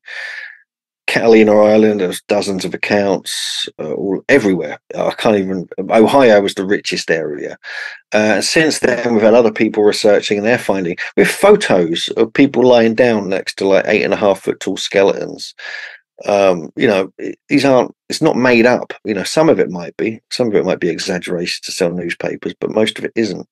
And then you look into the myths and the stories and the traditions of all these tribes, and it's like, oh my God, that it's all in there. Um, and so that, so we kind of left that as it was. We thought, okay, we'll get so much criticism for it. We got attacked by all these skeptics, heavily attacked. And we, we, you know, me and Jim were like, who cares? You know, we're not, we'll just so we wrote another book about giants just to annoy them even more um, mm. about the british giants about the stonehenge and all the stuff that's being found here. And we, we only had like 20 accounts from britain but we thought they were kind of interesting. Some of them were from proper academic journals. We thought you know this is like interesting. So we dug into the records and found 250 accounts in the british isles. And we were like oh this is strange. None of them were acromegaly or gigantism, nor were they in North America. None of them. Maybe one was. Uh, and so that can't explain it. So we think there was a genuine tradition and lineage, maybe with the elite class, especially in North America, who bred between themselves and kept these giant genes going. And so that's that's all there is to it, I think. I don't think there's anything um, uh, that controversial, to be honest with you. And then you start looking further back, and now the Denisovans that are being talked about, they were thought to be much taller and more robust. And before them, their ancestors, before them were the Homo heidelbergensis or heidelbergensis, South Africa and Europe. They were over routinely over seven feet tall. There's even a, a thigh bone found in South Africa, uh, which proves that someone who once had that thigh bone in their thigh was 10 feet tall. Um, and so it's there. You know, it's not like you know trying to kind of uh, um, make things up. So, do you think that there's a storeroom that just has all these skeletons in it somewhere? Uh, you best ask the Smithsonian. Uh, we're not sure. oh, we need access. Should break into the museum. That's where they all ended up, apparently, and, uh, we have a whole chapter called the Smithsonian Files. Um, and that's why our, our TV show probably got um, cancelled because we were kind of criticizing them and questioning why can't we see what's supposed to have been discovered, especially as they found you know loads of them themselves. But yeah, I find it's just a fascinating part of you know lost chapter of human history that kind of fascinated myself and my co-author Jim Vieira for a few years, and we got really into it. We're fascinated by the myths and the stories as well. Um, uh, especially in Britain, because there a lot of the myths and stories actually encode information about astronomy, about geomancy, about landscape technologies, about you know historical record of who these people were, where they came from, and everything else. Um, and so there, there was definitely some reality to the myths, and this was evidenced in the skeletal finds. Yeah, I wonder what kind of memories persisted because there must have been a time on Earth where there was a well there there clearly was a time on Earth where there was a lot of different upright apes that were walking around doing things, and and it seems like only one variety us have persisted to this day. But I wonder what sort of memories linger in the cultural collective mindset, collective consciousness that would remain even after even after a million years. You know. Yeah, I don't know. I mean, I think I think the most compelling um, is that of the Denisovans at the minute because the Denisovan DNA has been found in North America, uh, especially the northern climes of North America, uh, quite a high percentage in some of the native tribes there, native cultures. And um, I think that's the compelling because uh, there's now highly likely they were very tall. They were like seven foot kind of people uh, from Siberia, and also they had a different brain capacity, a larger brain capacity, and it's thought they may have had um, a different level of intelligence and innovation going on. And now there's a strong theory of even a connection between southeast Turkey and Siberia with all the symbology and um, agricultural development, even though the Denisovans are much, much earlier. There's, some, there's something going on. I mean, I, they keep finding all these obscure, obscure jaw bones and teeth in various places around the world, which look very much like a human. And yet they're claiming they're not human. Uh, they're some other, you know, ape-like man. Yeah, we were talking before we started filming about America a little bit, and there's something really perplexing about the layout of civilization in the Americas, where we have this story of the peopling through the Arctic area, let's say, but all of the first cities and and the big monumental architecture and the masonry starts in the deep south, which is very perplexing to me. Do you do you have any idea why there there doesn't seem to be that kind of stonework in the north? Yes, that is an odd. I mean, I don't know if it's just to do with there wasn't much about stone wise. I just don't know. I mean, they found. Well, I've been talking to Greg Little and Andrew Collins about this because they researched the mound, especially Greg researched the mound sites of North America, and they've now found mounds, very large earthen mounds, shaped pyramid shapes. They go back nine or ten thousand years easily uh, in North America, which is astonishing. You know, but if you look to the northeast, like New England and New York State there are megalithic structures. There are many of them. Um, they're in one of the most fascinating examples is, is, a balanced rock or North Salem dolmen in New York State, a giant megalithic structure, a dolmen. You go into um, Massachusetts, Vermont, Connecticut, everywhere else. There's dozens of these megalithic chambers, like Gungywamp, um, you've got calendar one and two in Vermont. You've got numerous ones all over the place, and these are quite big. They've got multi-ton stones. They're aligned to the solstices and things like this. No one knows who built them. There's evidence in the historical record that even when the first settlers came in, and they tried to communicate with the Native Americans, they didn't know who built them either. So it was before long before anything that was known about. Um, so you have things like this, anomalies like this going on. You actually have stone structures in some of the mounds. You actually have like megalithic um, kind of uh, foundations, like large stone slabs creating small chambers in some of the mounds these so-called giants were found in. Um, in uh, West Virginia and so forth. Also, Serpent Mound, there was a quite a large megalith at the very top of Serpent Mound that's now fallen down the side. You can actually go and see it if you have someone show you where it is, uh, things like this. And so, uh, um, as to why stone wasn't used so much, uh, I think it's more a case of using what was available. And uh, I don't know, I don't know how or why South America and you know Central America had such a prevalence of megalithic architecture, what while some areas didn't. It's, it's a bit of a mystery um, that's yet to be solved, really. I mean, there might be some climate contribution to that too. I imagine. I mean, the we lived in New York City for a while, and it's it's rough living in the winter out there. I, I wonder if there isn't just a tendency for people to have just kept moving and, and developed. Uh, but but then again, the the mountainous regions in in Chile and on the west coast of South America get get pretty chilly too up there in the mountains, and of course, people were building. You know, you mm. have you have all sorts of uh, pre-Incan civilization up in the high plains, and it all it doesn't yeah, it doesn't totally compute. It's very very strange. A lot of this doesn't compute, does it? It's very. I mean, you start looking trying to understand the kind of what came first as well. I mean, the people there's just so many anomalies with the dating of everything as well, um, which is frustrating. I mean, one of the most solid datings, unfortunately, Göbekli Tepe and Karahan Tepe. These were like really properly done um, by the German Archaeological Institute. You know, multiple tests and everything else. Um, so we know that's pretty solid. But everywhere else is uh, now open to interpretation. I think even um, they're even finding evidence this Stonehenge now. I mean, this has been known about for a while that there. I mean, where I live, you know, I'm right in the heart of the landscape here. This um, is has been occupied occupied constantly for ten thousand years. It's the only place in the country that has. There's actually large, huge sized post holes found right next to Stonehenge that date back to 8,000 or so BC. You know, things like this. There's a site called Blick Mead just literally up there, um, which is um, a kind of flint production area with this beautiful spring that actually turns the algae turns the stones pink, which is interesting. Um, and uh, uh, that's 10,000 years old as well, at least. And so, um, and yet Stonehenge itself is only 5,000 years old or so, or less, you know. So, you know, things like that are a bit, a bit of anomalous in their own right. Yeah, and there's there's interesting parallels between things happening in uh, the Americas and happening in the old world. One of the most disturbing things I came across recently was, and I can't remember the name of the civilization, but it was by the lake there.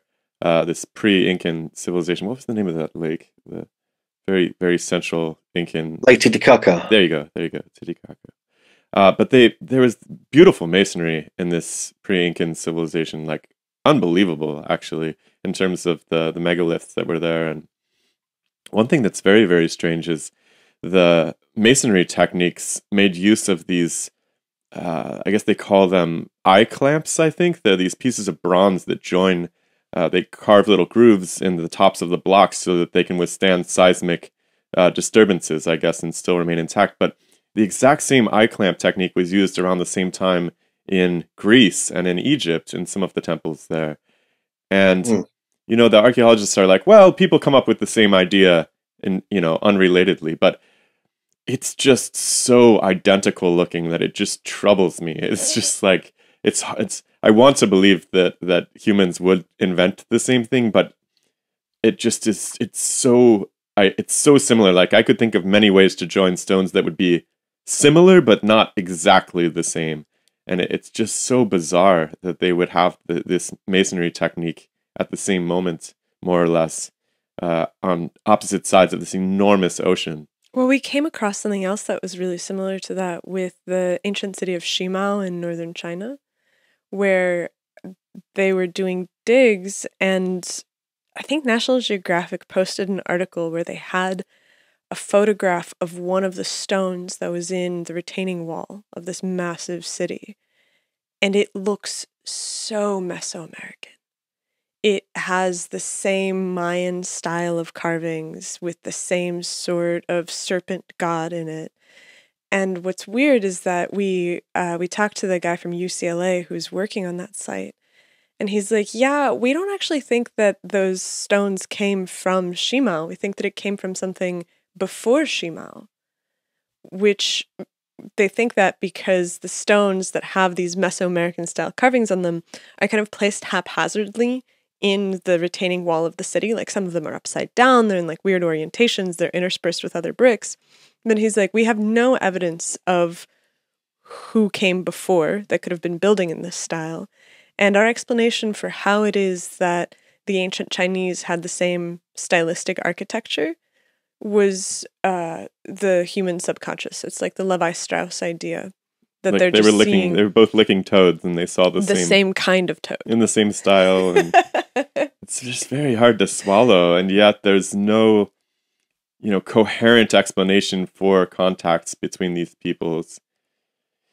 And it's just it's I very guess I, I wonder if there's anybody who's trying to work out a map of how all of these cultures could be related to each other temporally and physically. Like, assuming that, like, I know that we have the dates, and the dates are more or less fixed for some places.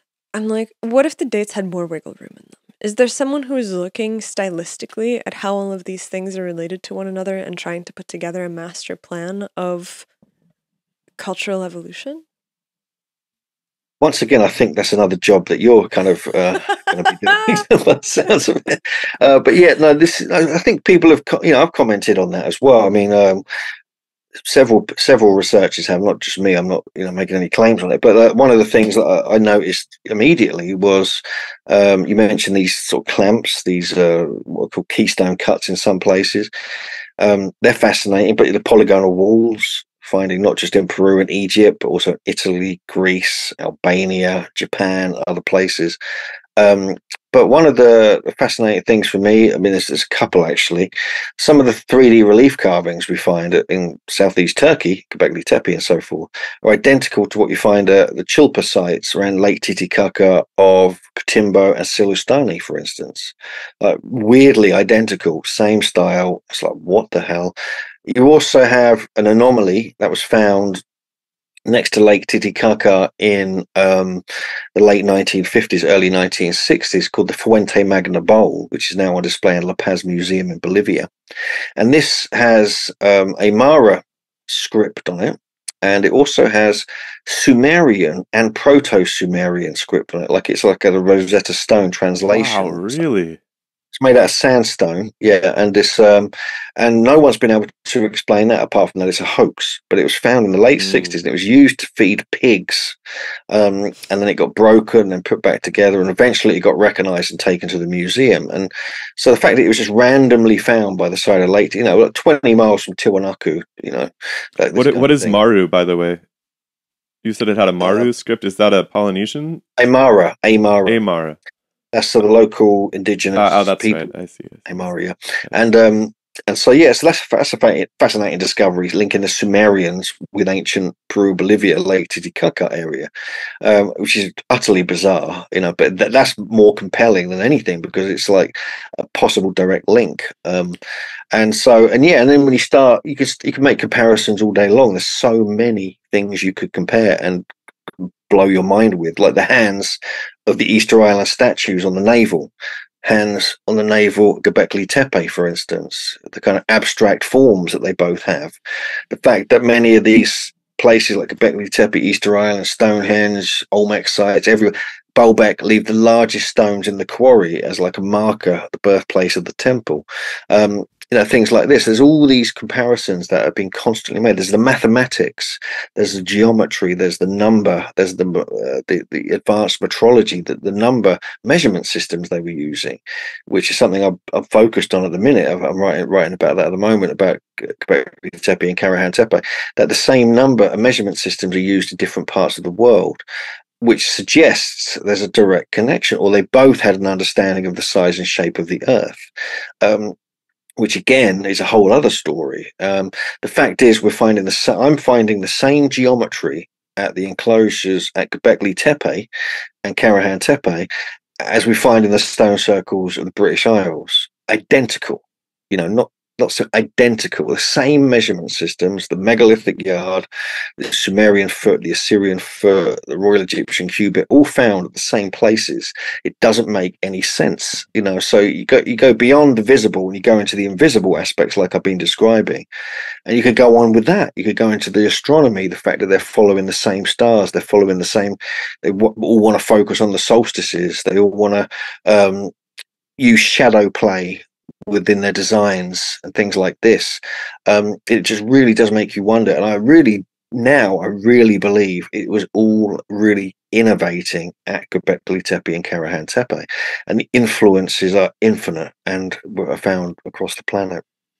Yeah, the influences are interesting because one of the standard arguments against any sort of transmission of knowledge is that there's no genetic linkage between, you know, the South American or the Mesoamerican peoples and, you know, the old world and so forth. So if they were in contact, why aren't they breeding with each other? Something like that. But the idea, the, the, the thought that ideas travel faster than people is an interesting concept to explore there. Well, you've also, got the fact that they found cocaine in the mummies of Egypt and tobacco. Um, so there's definitely some kind of connection between South America and Egypt, for instance. I mean, that's one of the famous ones. And so, how do you explain that? You know, um, you know, there's there's so many things like this. But to me, it's like you start looking at the numbers, you start looking at the the, the orientation of sites, you start looking at the the size and shape of sites, and that's where that's where the real kind of secret knowledge is. You know, in my opinion, that's really kind of um, um, you know, to me, that's what the elites understood. That's what the elite priestly elites. They understood the astronomy, the movement of the stars. They understood when things were going to happen in the sky and could pre- pretend to predict that. They understood the geometry, the measurements, and this was the these are these are all universal kind of uh, languages. What I've just been describing there. Anyone in the world can all follow these principles and all be exactly the same. You can't with language, you can't with hieroglyphs, you can't with written form because no one can understand one from the other. Um, and they were making attempts, obviously, on the Fuente Magna Bowl. But there's also like um, suggestions that inside Göbekli Tepe, uh, something JJ's been looking at, and also Robert Schoch looked at this as well, and, and our good friend Manu, who uh, he's got a very complicated surname I can't pronounce, and he they did a paper on the what they believe some of the symbols in Göbekli Tepe are part of the ancient Luwian language, which is the Hittite language. Now, the problem is there's a seven or eight thousand year difference between Göbekli Tepe and the later Hittites, who are in the same, roughly the same region. And so, how does that make sense? How can eight, seven or eight thousand years um, make any sense when you're finding the same symbols and possibly the same meaning? So maybe there that you can have connections even from these great distances in time. Ah, that reminds me of a really fascinating story that we haven't looked into yet. But uh, Shilo's dad went to this lecture in Sedona by a guy who's been taking photographs of petroglyphs with a series of filters. And he saw that they seemed almost like Chinese writing. And then he showed them to scholars of ancient Chinese, and they were like, yeah, this, you can they look a lot like ancient Chinese writing, and you can actually interpret them to, to be signs that were used in these ancient languages.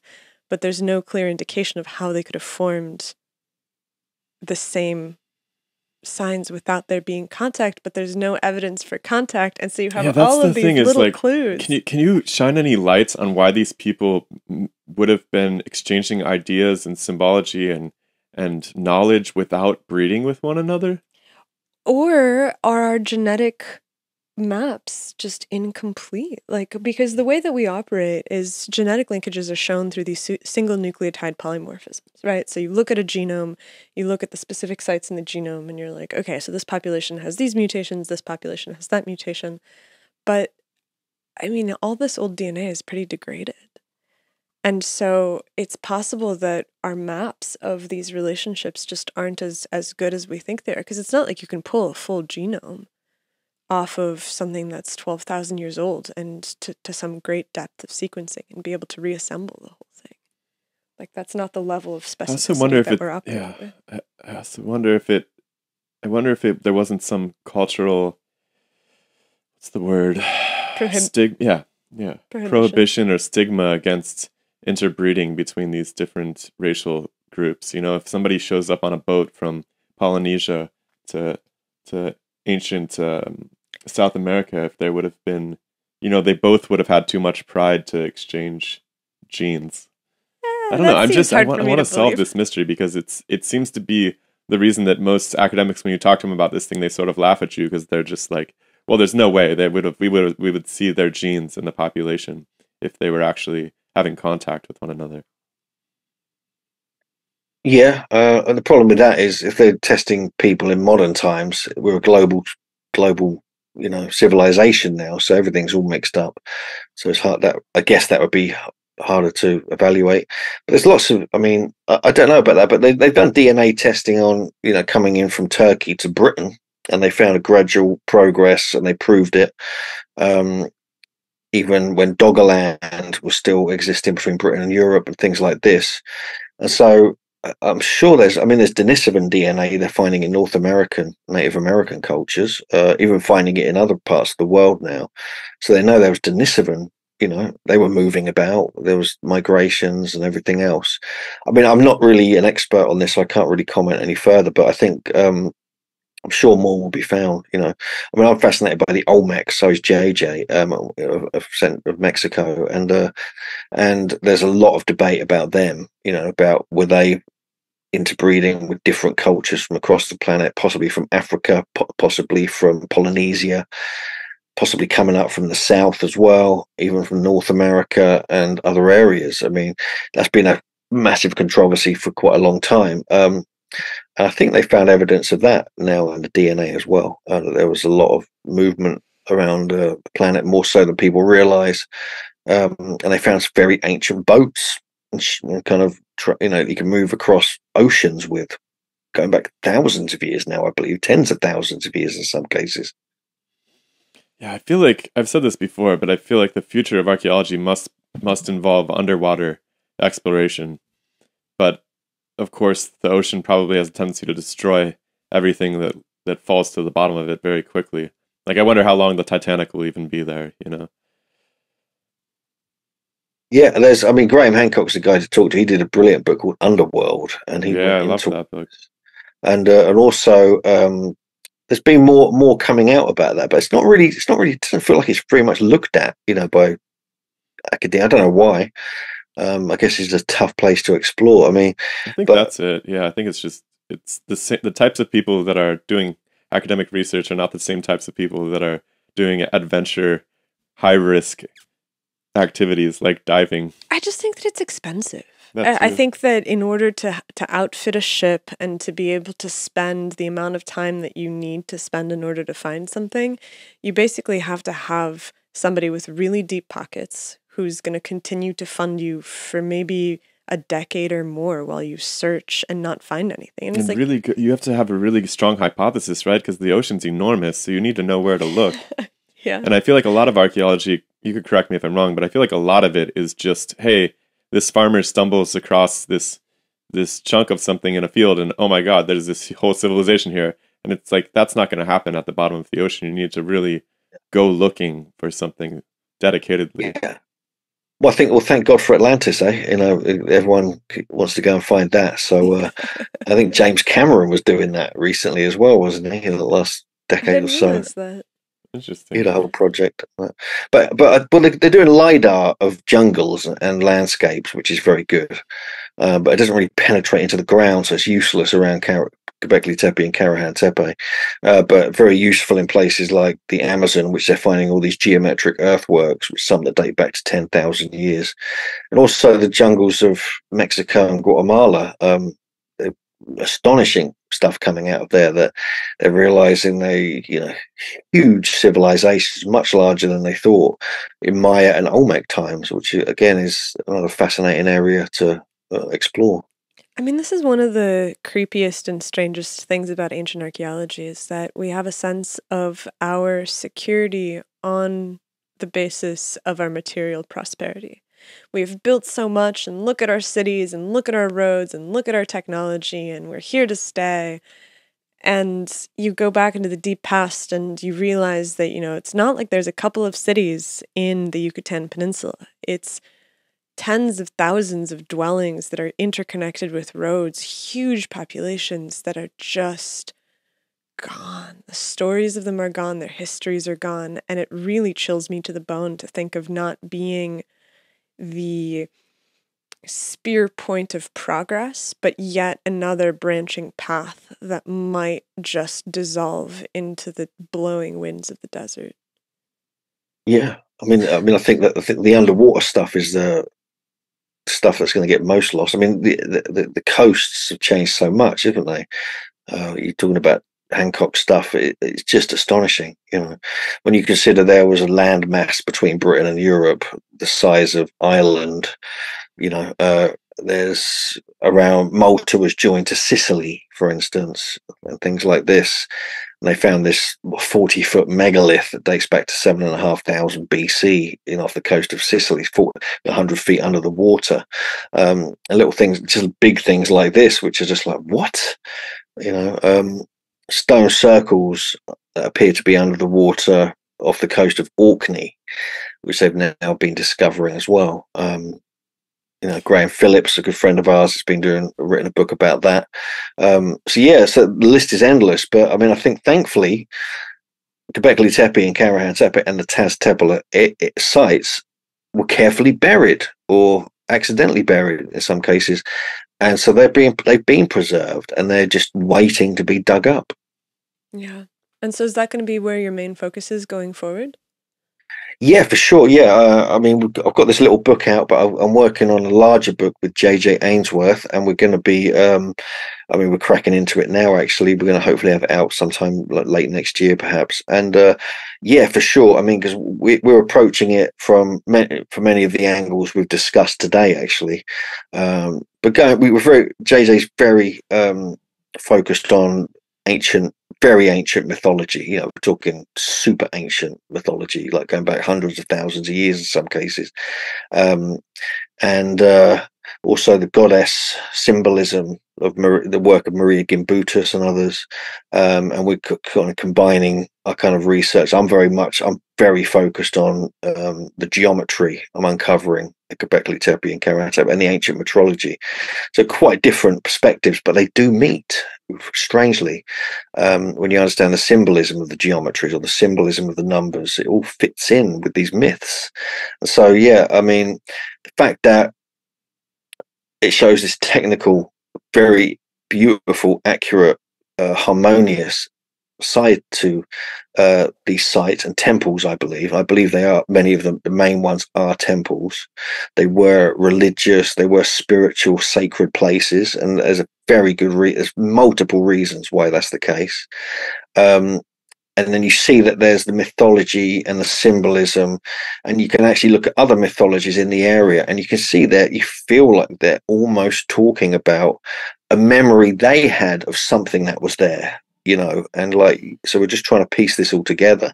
Um and uh and and you start yeah you start looking at the kind of um the way everything you know i mean the comp- history's got to be completely rewritten unfortunately poor poor old academics because what's coming out of the ground in southeast turkey is doing that it's rewriting it all it, it has to. There's no there's no other way. It's not me i'm not pushing for that it just is going to happen that's the nature of it because we're talking like a super civilization nearly 12,000 years ago the end of the last ice age this is like profound Mm. this is something people were just speculating upon about the Sphinx, for instance, John Anthony West and Robert Schoch. They were, oh, maybe it's as old as 10,000 BC and so forth. But no, now it's proven there is the stuff this era. And so, and the fact is so sophisticated, so influential, and the innovation that occurred there is just nothing. There's nothing on par with it until the time of the Sumerians or the Egyptians or the Stonehenge builders. So it's definitely going to be my focus, yeah, for a, a, a very long time. I think, especially because new discoveries are going to be, keep being made. Sure. that that gap too between the two is something that's just of endless fascination to me. Like that, so many thousands of years would pass between these civilizations. Like what was going on? It's just like Because I I haven't. mean, you been think- So you, you think, right? Just think about this, right? You're building the pyramids like 2,600 BC. All right. Göbekli Tepe was 9,600 BC. Yeah. So when you're building the pyramids, the last surviving wonder of the world, we're talking like what's that? 7,000 years difference, you know? And like even when they covered it up, there were still six, five or six thousand years between them. So it's like, what the hell? you know it's uh, it's just so baffling because you know so we see things as ancient but when they were building these made like stonehenge sumerian civilization you know uh egyptians everyone uh, Göbekli Tepe was super ancient then and it had been forgotten about by them even isn't even it's maybe just lingering legends and myths you know uh, and things like this um and so yeah so uh, yeah it's just uh, it's just absolutely uh mind-blowing when you consider that It's a really, really cool story. So who should we be talking to next? By the way, Mm. I- I'd love to talk to JJ too if, if she would sit down with us. I'm really interested in the mythology side of things too. But Yeah, definitely. She's yeah, she's very smart, but she's she she, she yeah. I, I- I'll ask her on your behalf uh, for sure. Uh, maybe I'll show her this interview, see if she she's quite shy, so she doesn't like to kind of go on for talk for too long. Whereas I could just, I could talk for England, you know, the, the Olympics, you know. And uh, but there's uh yeah, and uh but yeah, so that yeah, but yeah, if you know if you can get her to talk, she is quite brilliant. You know, her kind of take on it. She's been studying. um She's very focused on mythology and symbolism, and her take on it is unique. There's no one I know. I'm very fortunate. She's my partner who, who can do this. Who can actually kind of decode this. She's actually she can read. You know, certain hieroglyphs and the Luwian script and things like this. And um, so it's quite remarkable. And her work she's now doing on uh, something called the um, uh, the Golden Gate of the Ecliptic and the symbolism she's noting that is found within Göbekli Tepe as well, which no one's really worked out before. So she's got some unique takes on it. Um, I mean, there's many very, very interesting researchers. I don't, I'm not, I'm not 100% who you've had on the show. My good friend Andrew Collins, um, uh, he's fascinating in his own right. He's a kind of legendary figure in the ancient mysteries world. Uh, but there's many others. Um, I could recommend. So we can we can certainly talk about that. My good friend Howard Crowhurst, he's very much into the geometry, landscape engineering, and astronomy of Carnac in Brittany, but was also relating it. He's finding the same systems in place in places like Giza and other places in the world. Um, but yeah, we can certainly I can certainly recommend a few remarkable people to you. That'd yeah, yeah. If you think of anybody, you know, later on, we'd love to hear about it. It's we've been doing a lot of basic science on this show so far, a lot of physics and origins of life, consciousness, things that are more, you know, contemporary research. But we're just cracking open this ancient history thing uh, in full force. So yeah, any recommendations? We would we would love to find out who who would be fun to talk to. So please drop us a line.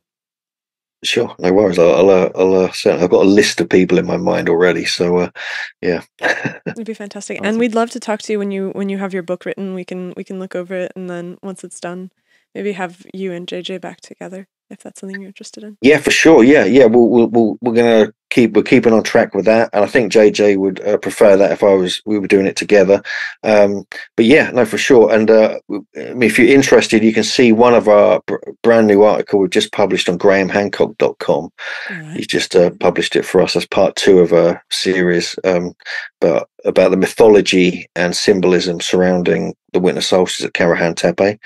Um, and uh, we have it's not complete. I mean, we've got more information than we put in the article, quite a lot more, but we couldn't we couldn't do a fifteen thousand word article. It wasn't appropriate for a website. I think people just turn off after uh, Oh, yeah. first few thousand words. Um, but yeah, and people can you know. Um, I mean, I summarise it quite um, efficiently in the the new book, even though it's quite a small book.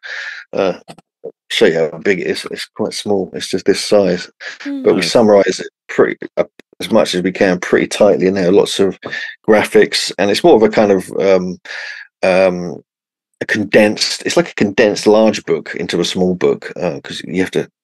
You, start off writing a book that's about five times the size, and you have to kind of edit it down really concisely. The editor is really works really intensely with me to get it correct. It's a, a a part of the Wooden Book series. I'm not sure if you've seen them. They're, they're quite brilliant. So I'm delighted to have uh, yet another book published um, by that publisher. That's fantastic. Uh, so if people want to read more about your work, where where should they go? Yeah, they can. Uh, I'm all over the place, actually. I mean, I've got tons of videos on uh, on our Megalithomania UK YouTube channel. Uh, there's people can just Google Hugh Newman, and they'll find tons of stuff. I've got articles up on ancientorigins.net, grahamhancock.com, but my most um, the, the main website I manage is megalithomania.co.uk. And on there, it's got it's mainly that's mainly the events. Um, we run the conferences and the tours and videos, uh, a couple of articles, but mainly the articles we put out on other other kind of platforms. Um, but we're all over social media if people want to kind of find us f- from that perspective. Um, but fundamentally, you know, I've got several books out, so people can check them out. They can just find me on Amazon and, and various places. And JJ, if people are interested, her uh, YouTube and sort of profile is Megalithic Maiden, and so they can kind of find more information about her through that. And um, yeah, and uh, that's that's about it. But there's uh, there's plenty online, but there's also several books as well.